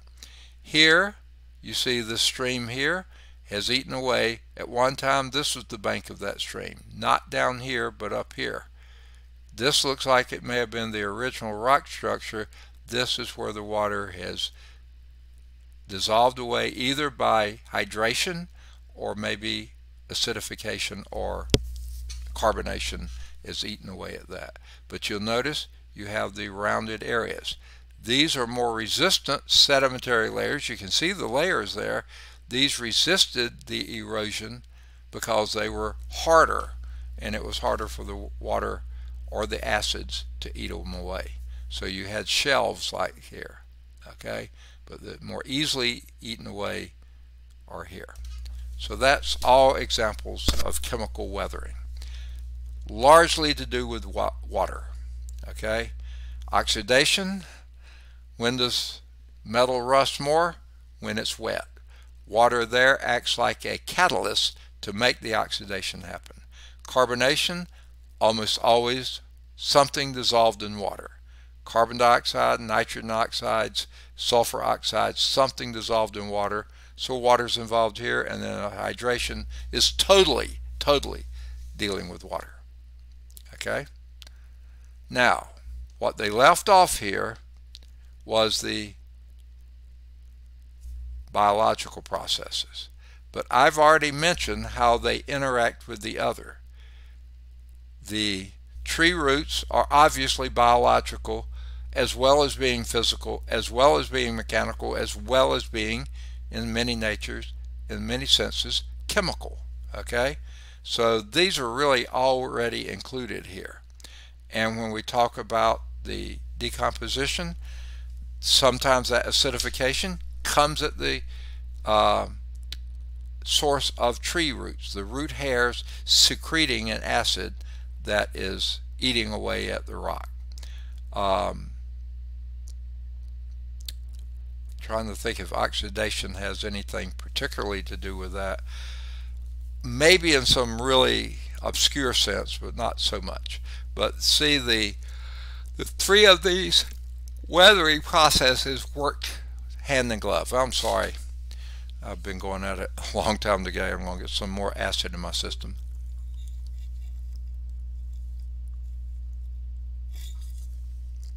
Sorry. Right at the end of the can there. Um, didn't have much bubbling in it, but usually the darker, uh, this is just a general thing, the darker uh, carbonated drinks, they say carbonated, but usually the acid in them is phosphoric acid, which also does a really bad job on your bones so and teeth. So don't do too much of those. But every now and then I need a little bit of caffeine. Okay. So they didn't mention specifically a, a thing on biological, but it's always there. Okay. In fact, sometimes biology, biological processes start them all. If you go out to any rugged, exposed mountain range, I'm thinking the Rockies, you don't see much of that in the Appalachians because those are very ancient mountains. They've been being worn away for years. But go out in the Rockies where you have fresh uplift, you know, uh, freshly uh, faulted mountains, you know, when I say that in the last few hundred or thousand years, you know, something like that. You go to that bare rock and take a look at it, and you'll see little bitty patches of lichens or mosses or other things growing on the rock. And you know what they're doing? They're secreting acid so they can send out their little things like root hairs and cling to those rocks. Otherwise, they get washed off the next rain.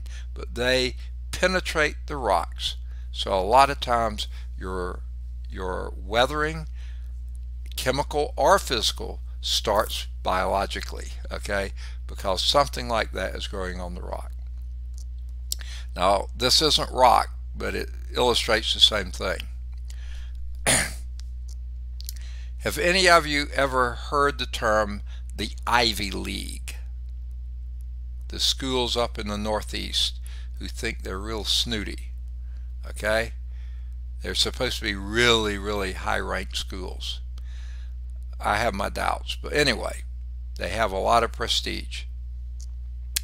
Why they were called Ivy League is they loved to have the ivy growing on the brick walls of those buildings. Okay? Oh, here comes Kermisha. Good to have Kermisha here. Let me mark her present. Okay. Now, those look impressive, don't they? In fact, do any of you have a wall of a building that you either work in or live in or something else that has ivy growing on the walls, the outside walls? Not a great idea.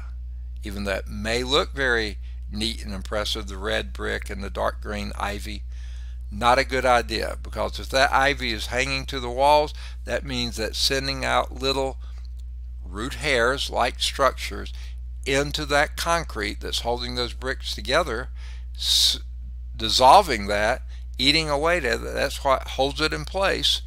And you're actually, uh oh, my internet connection is unstable. I'll quit talking. Okay, did I break up some then?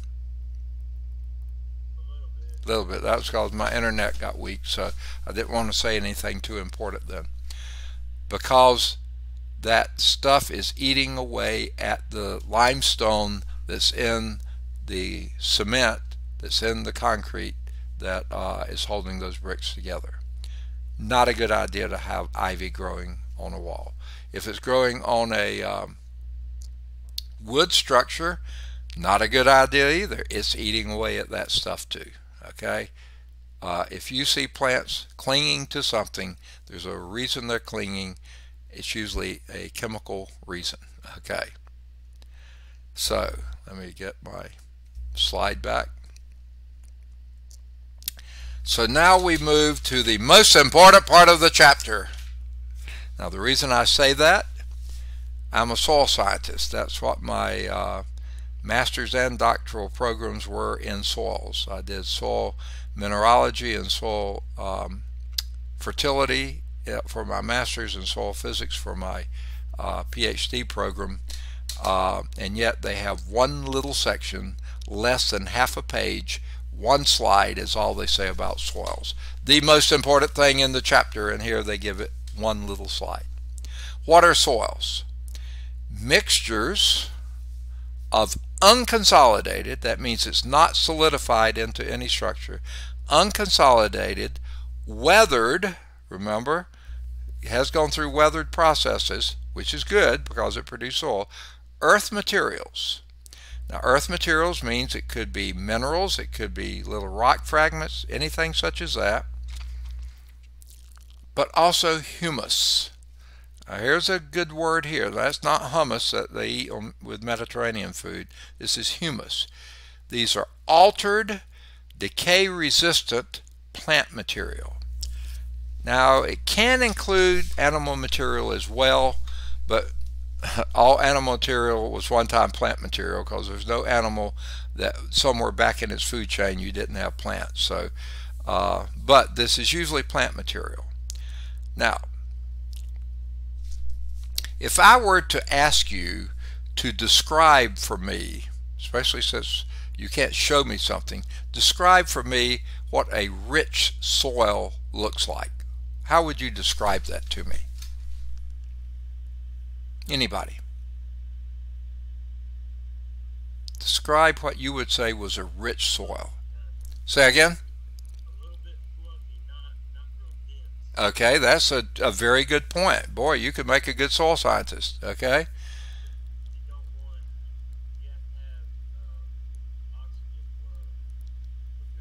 Boy, are you ever good at this.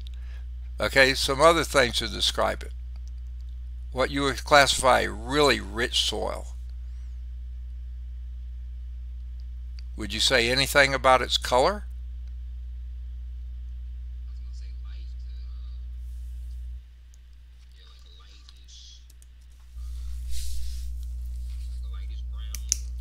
Okay. Okay. All right. You're getting to where I was figuring someone was going to say. A lot of people would actually say black. Okay. A dark soil is going to be, oh, that's rich. Okay.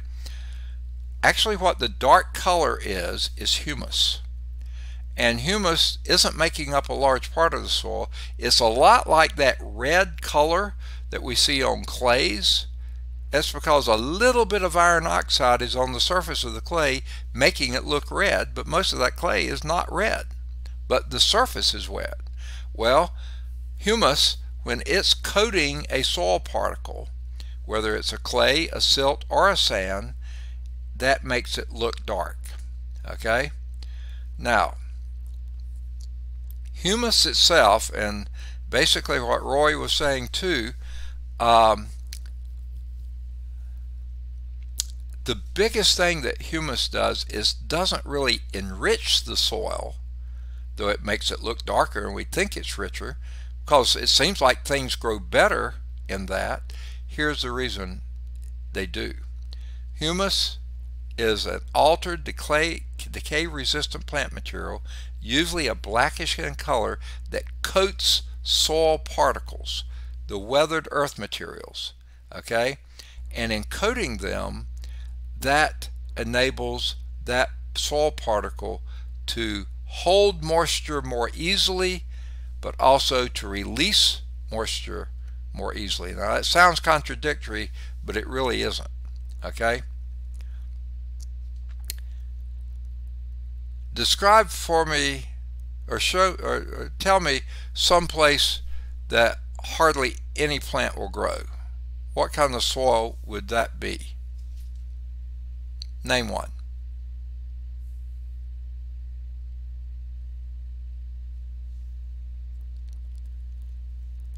I'll tell you one place when I'm we're going to my home over in Georgia uh, where I grew up.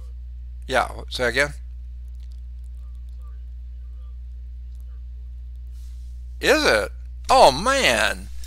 Okay, that means we'll have to start over with soils on next time, won't it? Oh, that's too bad. All right, hit the most important thing twice. Okay, well, I have a mark right there now, so that's where the mark will stay. Okay, so we'll pick up with soils next time. what I was hinting at there, one of, to me, one of the poorest soils is a sandy soil.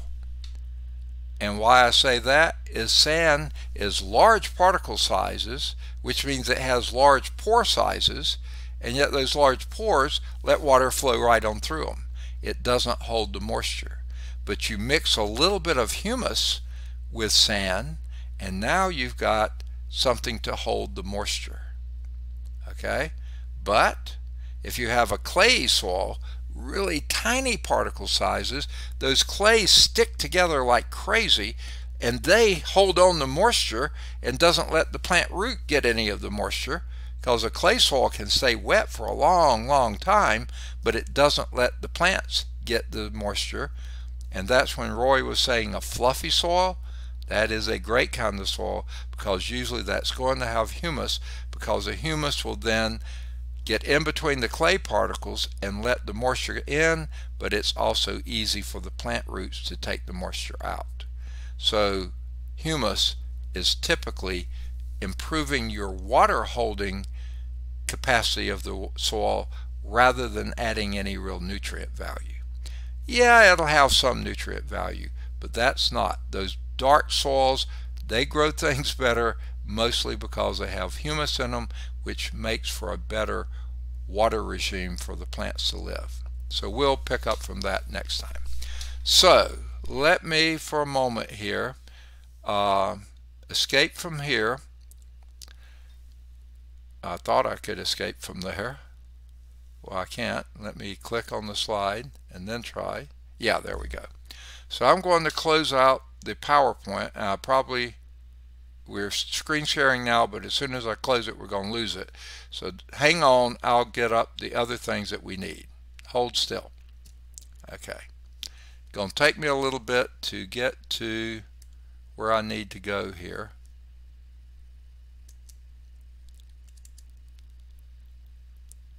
I can't get this to open. There we go. Oh, that's not what I want. Okay. That's not what I want. Okay. My last class ended less than five minutes before this one began, so I didn't have a chance to get all this open for you. Um, yuck.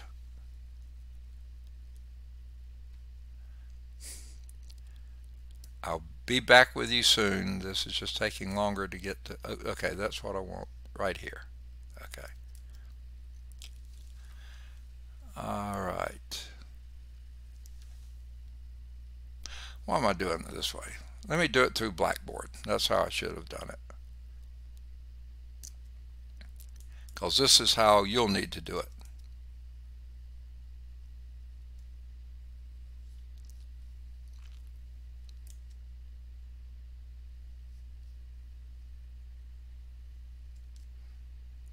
Okay, I'll come back to screen sharing in just a minute. Let me get Blackboard open. I thought I had it open already, but I must have accidentally closed it out. Okay. Yuck.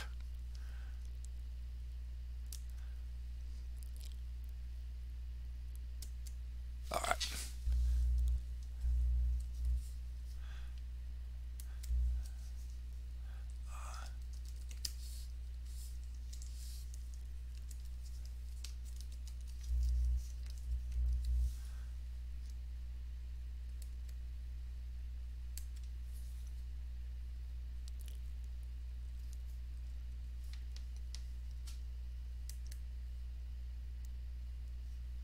Okay, I'm going to try to get you back in screen sharing. Okay, you can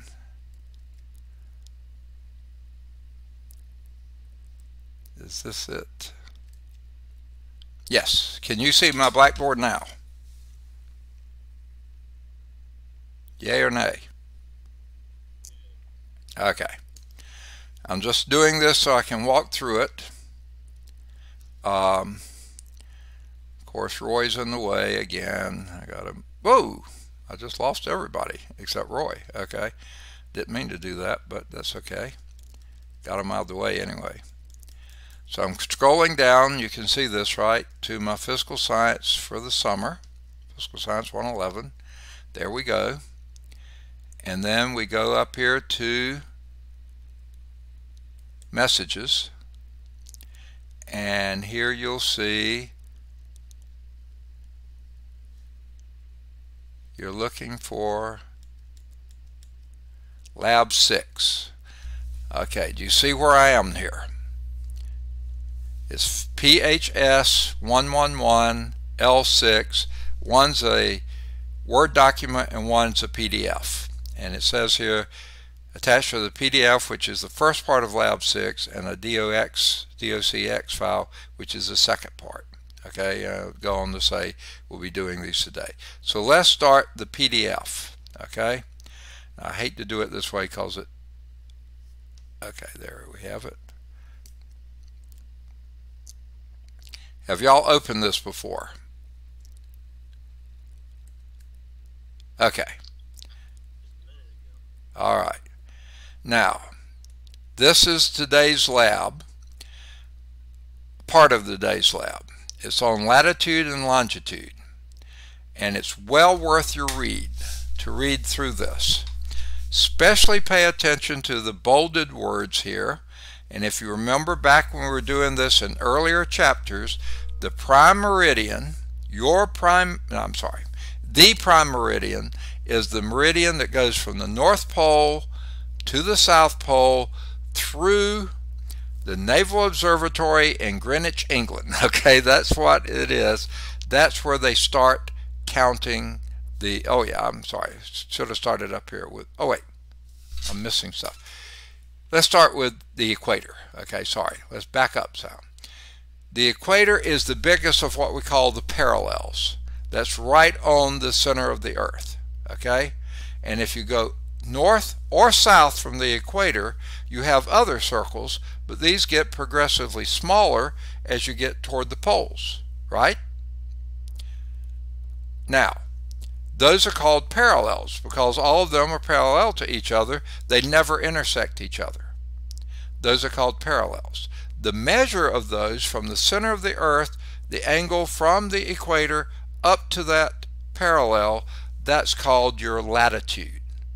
It's how far north or south you are of the equator. Okay, sorry, that's where we should have started.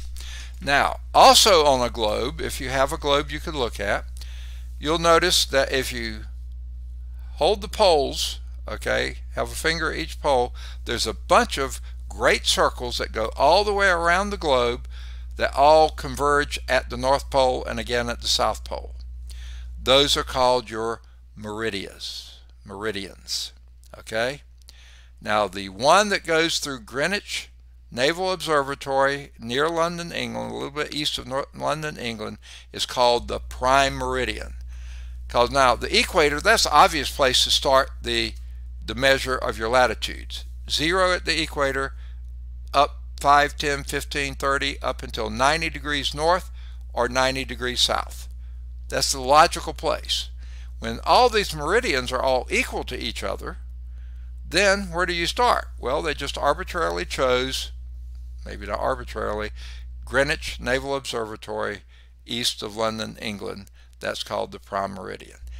Everything else is measured from that. You measure east if you're going on toward Europe, Asia, you know, um, Australia and on like that until you have, get halfway around the globe.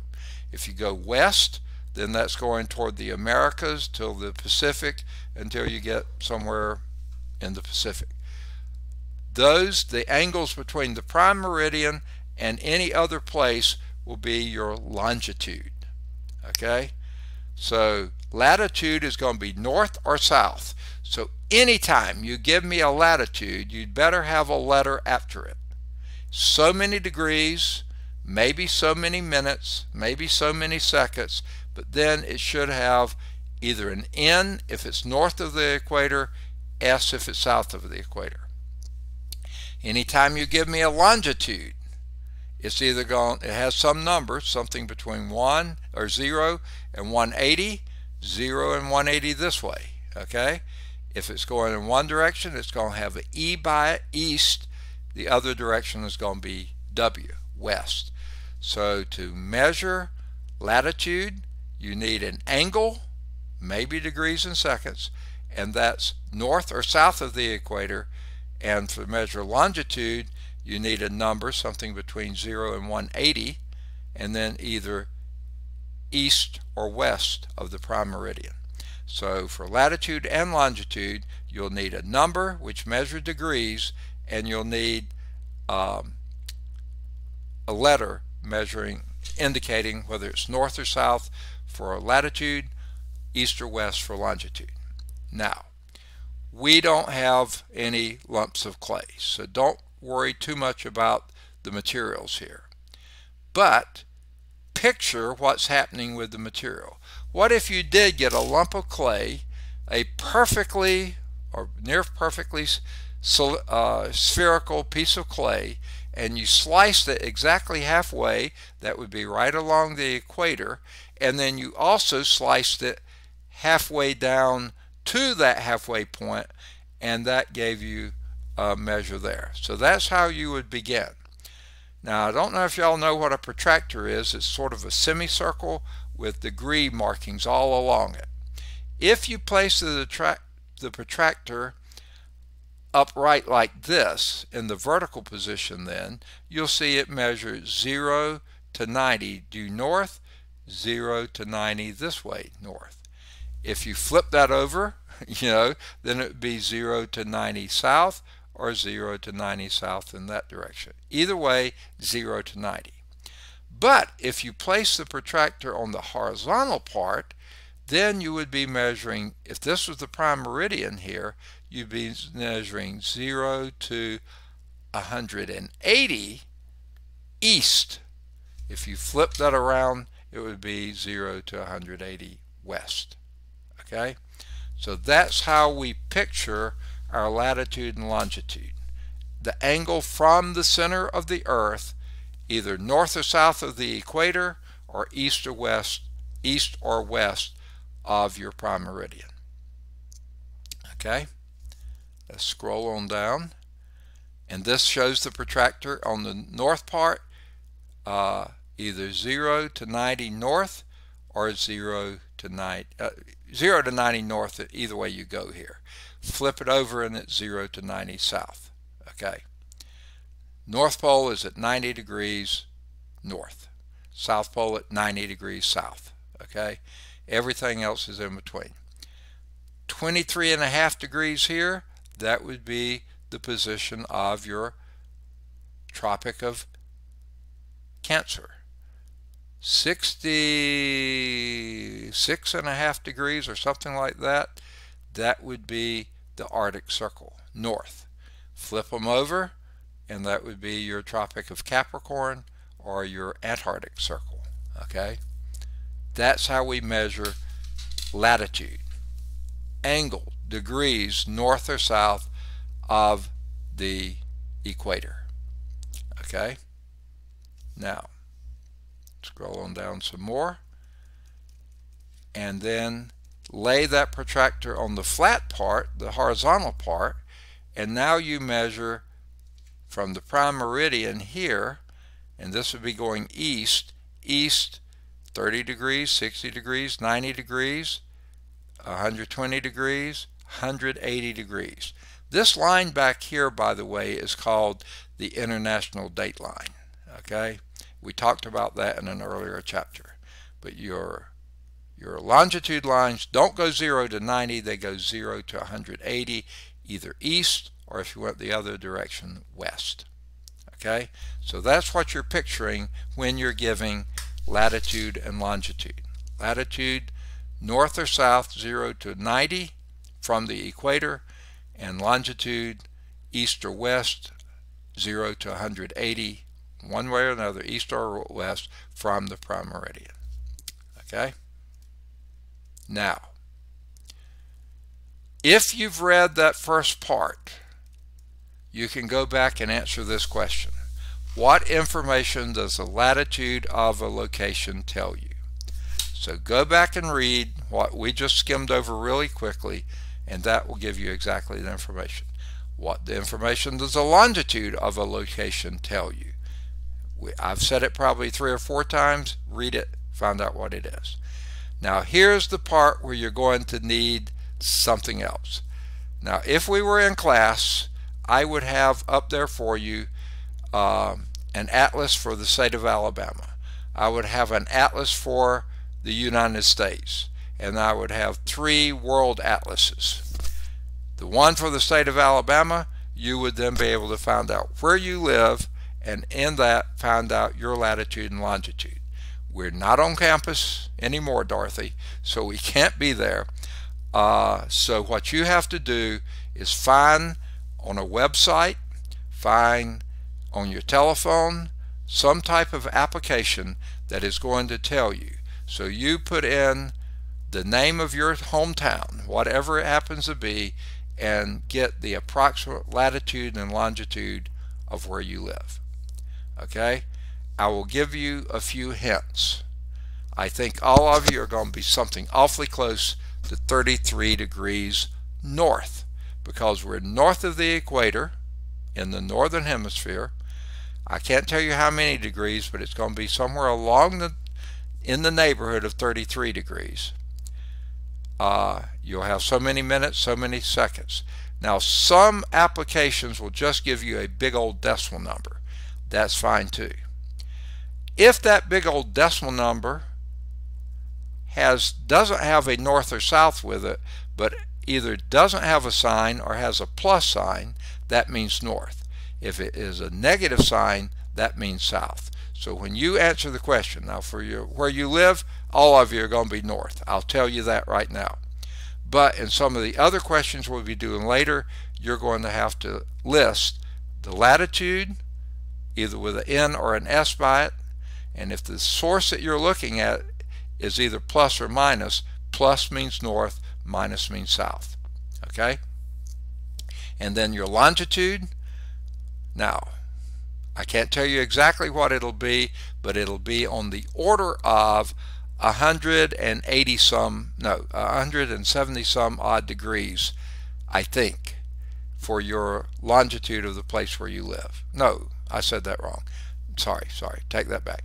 80 some degrees. I said 180 at first. 80 some degrees. And we're west of the prime meridian because London, England is to the east of us. Okay? You have to go east to get to the Atlantic Ocean, further east to get to England. Okay? So uh, we are west of the prime meridian. So whatever it is, now on that thing, if your source gives you a negative 80 something or another, then you change that to 80 something or another west because negative means west.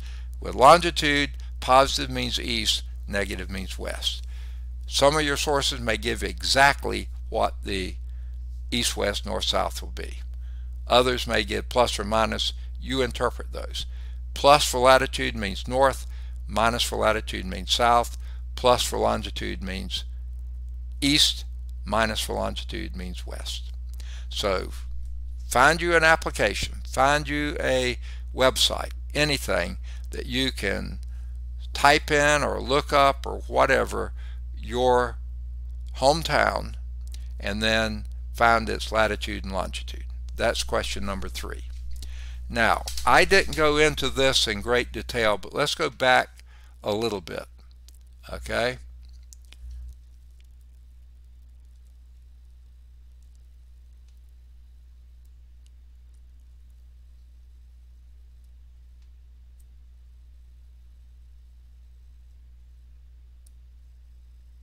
All right, here.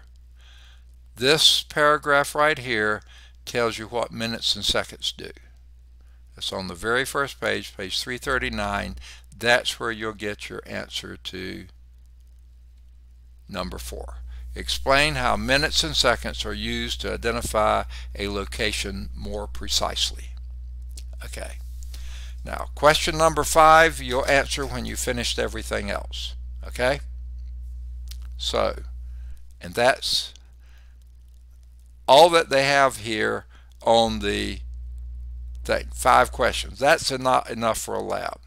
So that's why we go to, let's go back to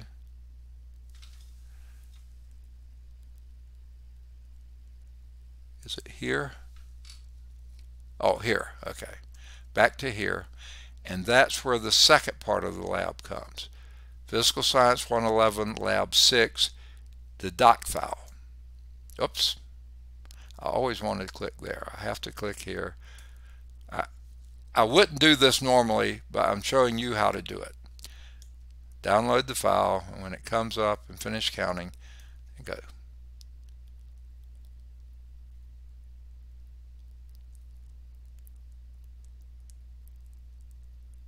Okay, here's the rest of lab 6. Notice the other went through question 5, so here we're picking up with question 6.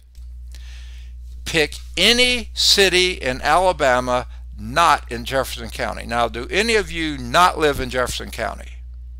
Or all of you Jefferson County residents? You all are? Or you live out? No, I'm Montgomery. You where? Montgomery. Oh, you're from Montgomery. Okay, so your first question, you're going to have a Montgomery latitude and longitude. So you pick any city in Alabama not in Montgomery County. Isn't that the county of Montgomery? Mm-hmm. Okay, yeah. So you just change that to Montgomery County. Any city in Alabama not in Montgomery County. So all I was saying about your latitude and longitude for where you lived, you may have different from what I said. So you pick the city and write it down here. Okay. Uh, my wife's from Huntsville, so I might choose Huntsville. Or I might choose Montgomery because I live in Jefferson County. But Mobile or you know, Elba or whatever. You just pick any city in Alabama not in your home county. Pick it and then list its latitude and longitude. Now, I'll guarantee you the latitude will be 30 something north and the longitude will be, I'm guessing something 80 something west. Okay? But I'll let you figure all that something's out. Okay? Then pick any city in the U.S. not in Alabama.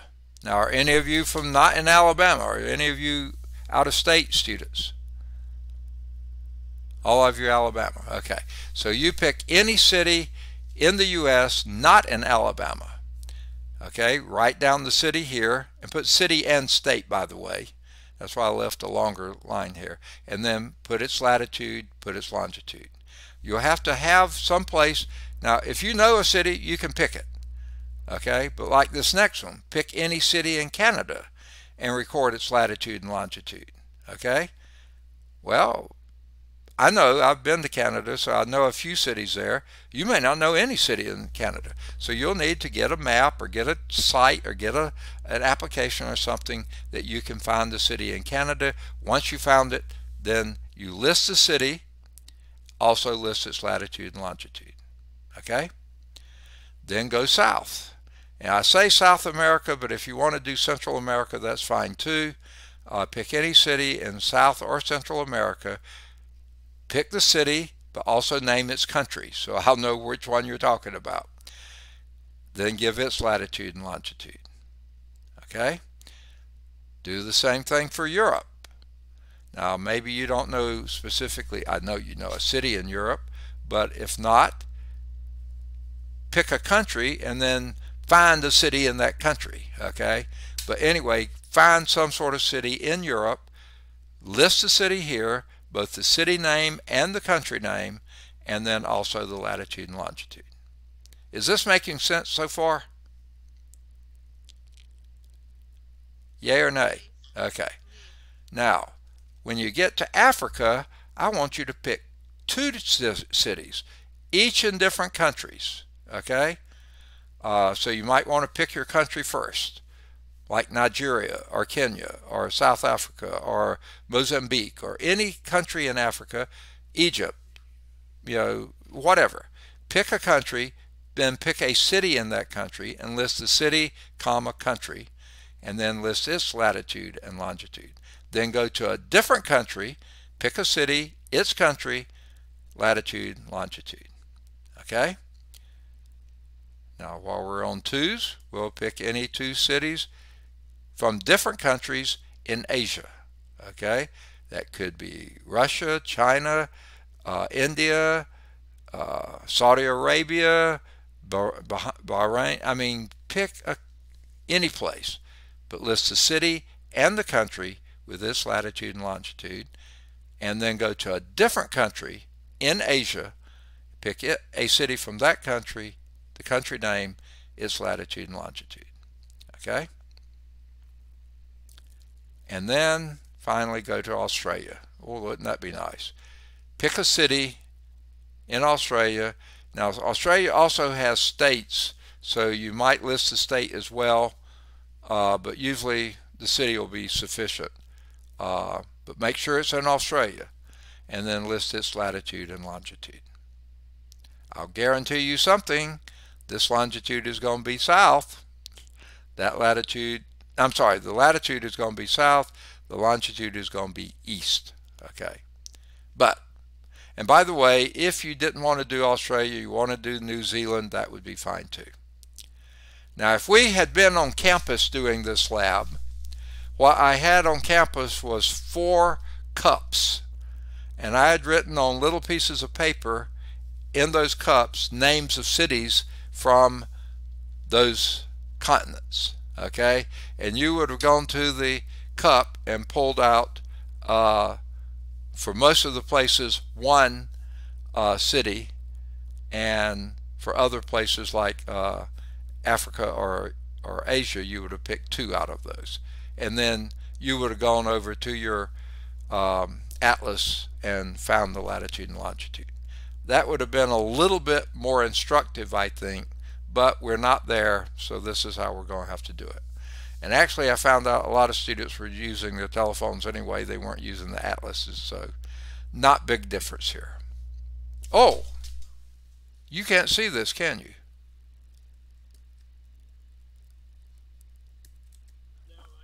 I'm so sorry. That was everything I was saying. I was thinking you could see I didn't even notice that the screen sharing had stopped. But that's what I was just reading. But maybe you're already looking at your own.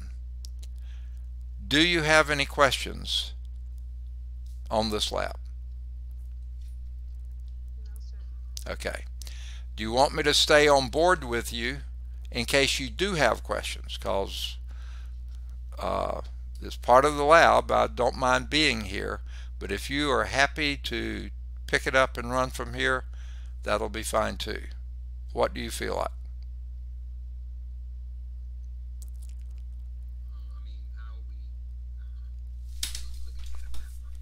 You could look at a map or you could just go to a website. Uh, you know, you just need to, find the city, list the city and the country or city and state if it happens to be in the U.S. Um, and then the latitude and longitude. You'll need to have a website that you can find those things. You might need two websites, one to find the city and another to find latitude and longitude. However you want to do it, that's what you're. That's the rest of the lab. The first part of the lab was on the other uh, sheet. Okay, this part of the lab is it's just finding it's actually 10 more cities if you had counted them. There's uh, 1, 2, 3, 4, 5, 6, 7, 8, 9, and then question 6 was another one in Alabama. It's 10. So 10 more cities and then list the latitude and longitude. That gives you your next 20 points added to the 5 of the other part of the lab and be sure you go back and answer the question whether you think the lab was uh, instructive or not. You know, that question five on the on the first sheet. All right, sorry about not showing you this when I was talking about it, but do you have any other questions about it?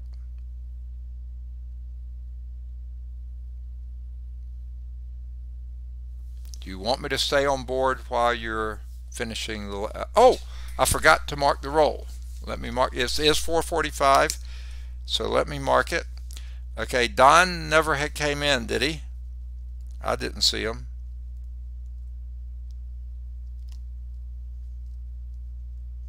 Okay. Capri never came in, did she? I haven't seen her. Bridget didn't come in.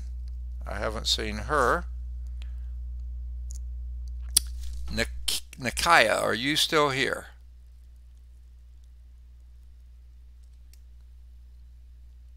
Okay, I don't see Nikaya. I do see Caitlin.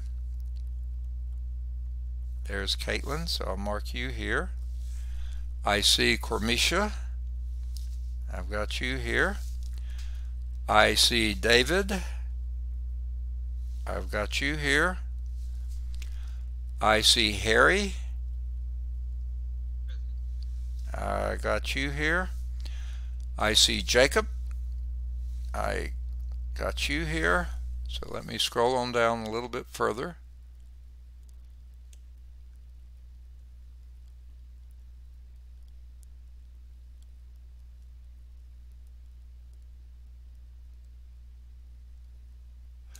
Okay, I've got one. I've got you here. I've got, there's uh, Nikaya, okay. And Roy, I got you. I got you, babe. No, that was something else. And Scott. I've got Scott here. Is there anyone present who you haven't heard me acknowledge your name? This says we have nine students. I have one, two, three, four, five, six, seven, eight, nine. Yep. So it looks like we've lost Thomas. We, Patrick never came in today. Rod never came in today. Leon didn't make it in today. And surprisingly, Valerie hasn't made it in today. Maybe the first day she's missed. Okay? What's that? You, yeah. Well, I do know that uh, there was one day, I uh, haven't finished checking all the emails today, that she emailed me and said she either had a, this was a week or two ago, either had to go to work, was called into work, or had to take someone in her family to the doctor or something like that. So she uh, she she did indicate that she might have to miss every now and then. So, but so far she'd always made it back. Today she hasn't yet. Now, I hate if I'm going to leave if she's going to come in and we're going to be gone. So that's why I wondered. Are there any further questions? Do you want me to stay on board to uh, if you run into any questions with this, I'll be glad to try to answer. Or does it seem like it's clear enough?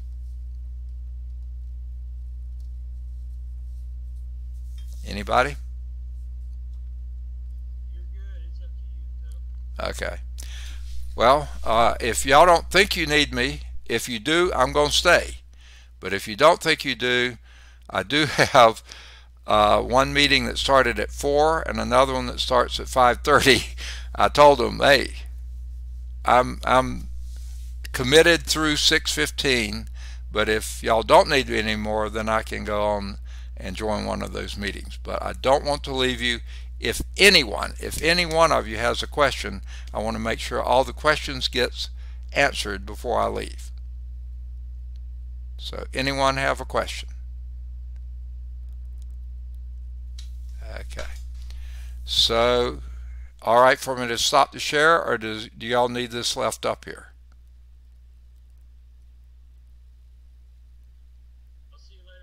Later, okay, take care. I'm going to stop the sharing then. And I will go on and end the meeting. Uh, but y'all can work with each other. You know, it is a lab. So by all means, uh, work with each other if you have ways to stay in touch. Okay? All right. I'm going to end the meeting then. For everybody, take care.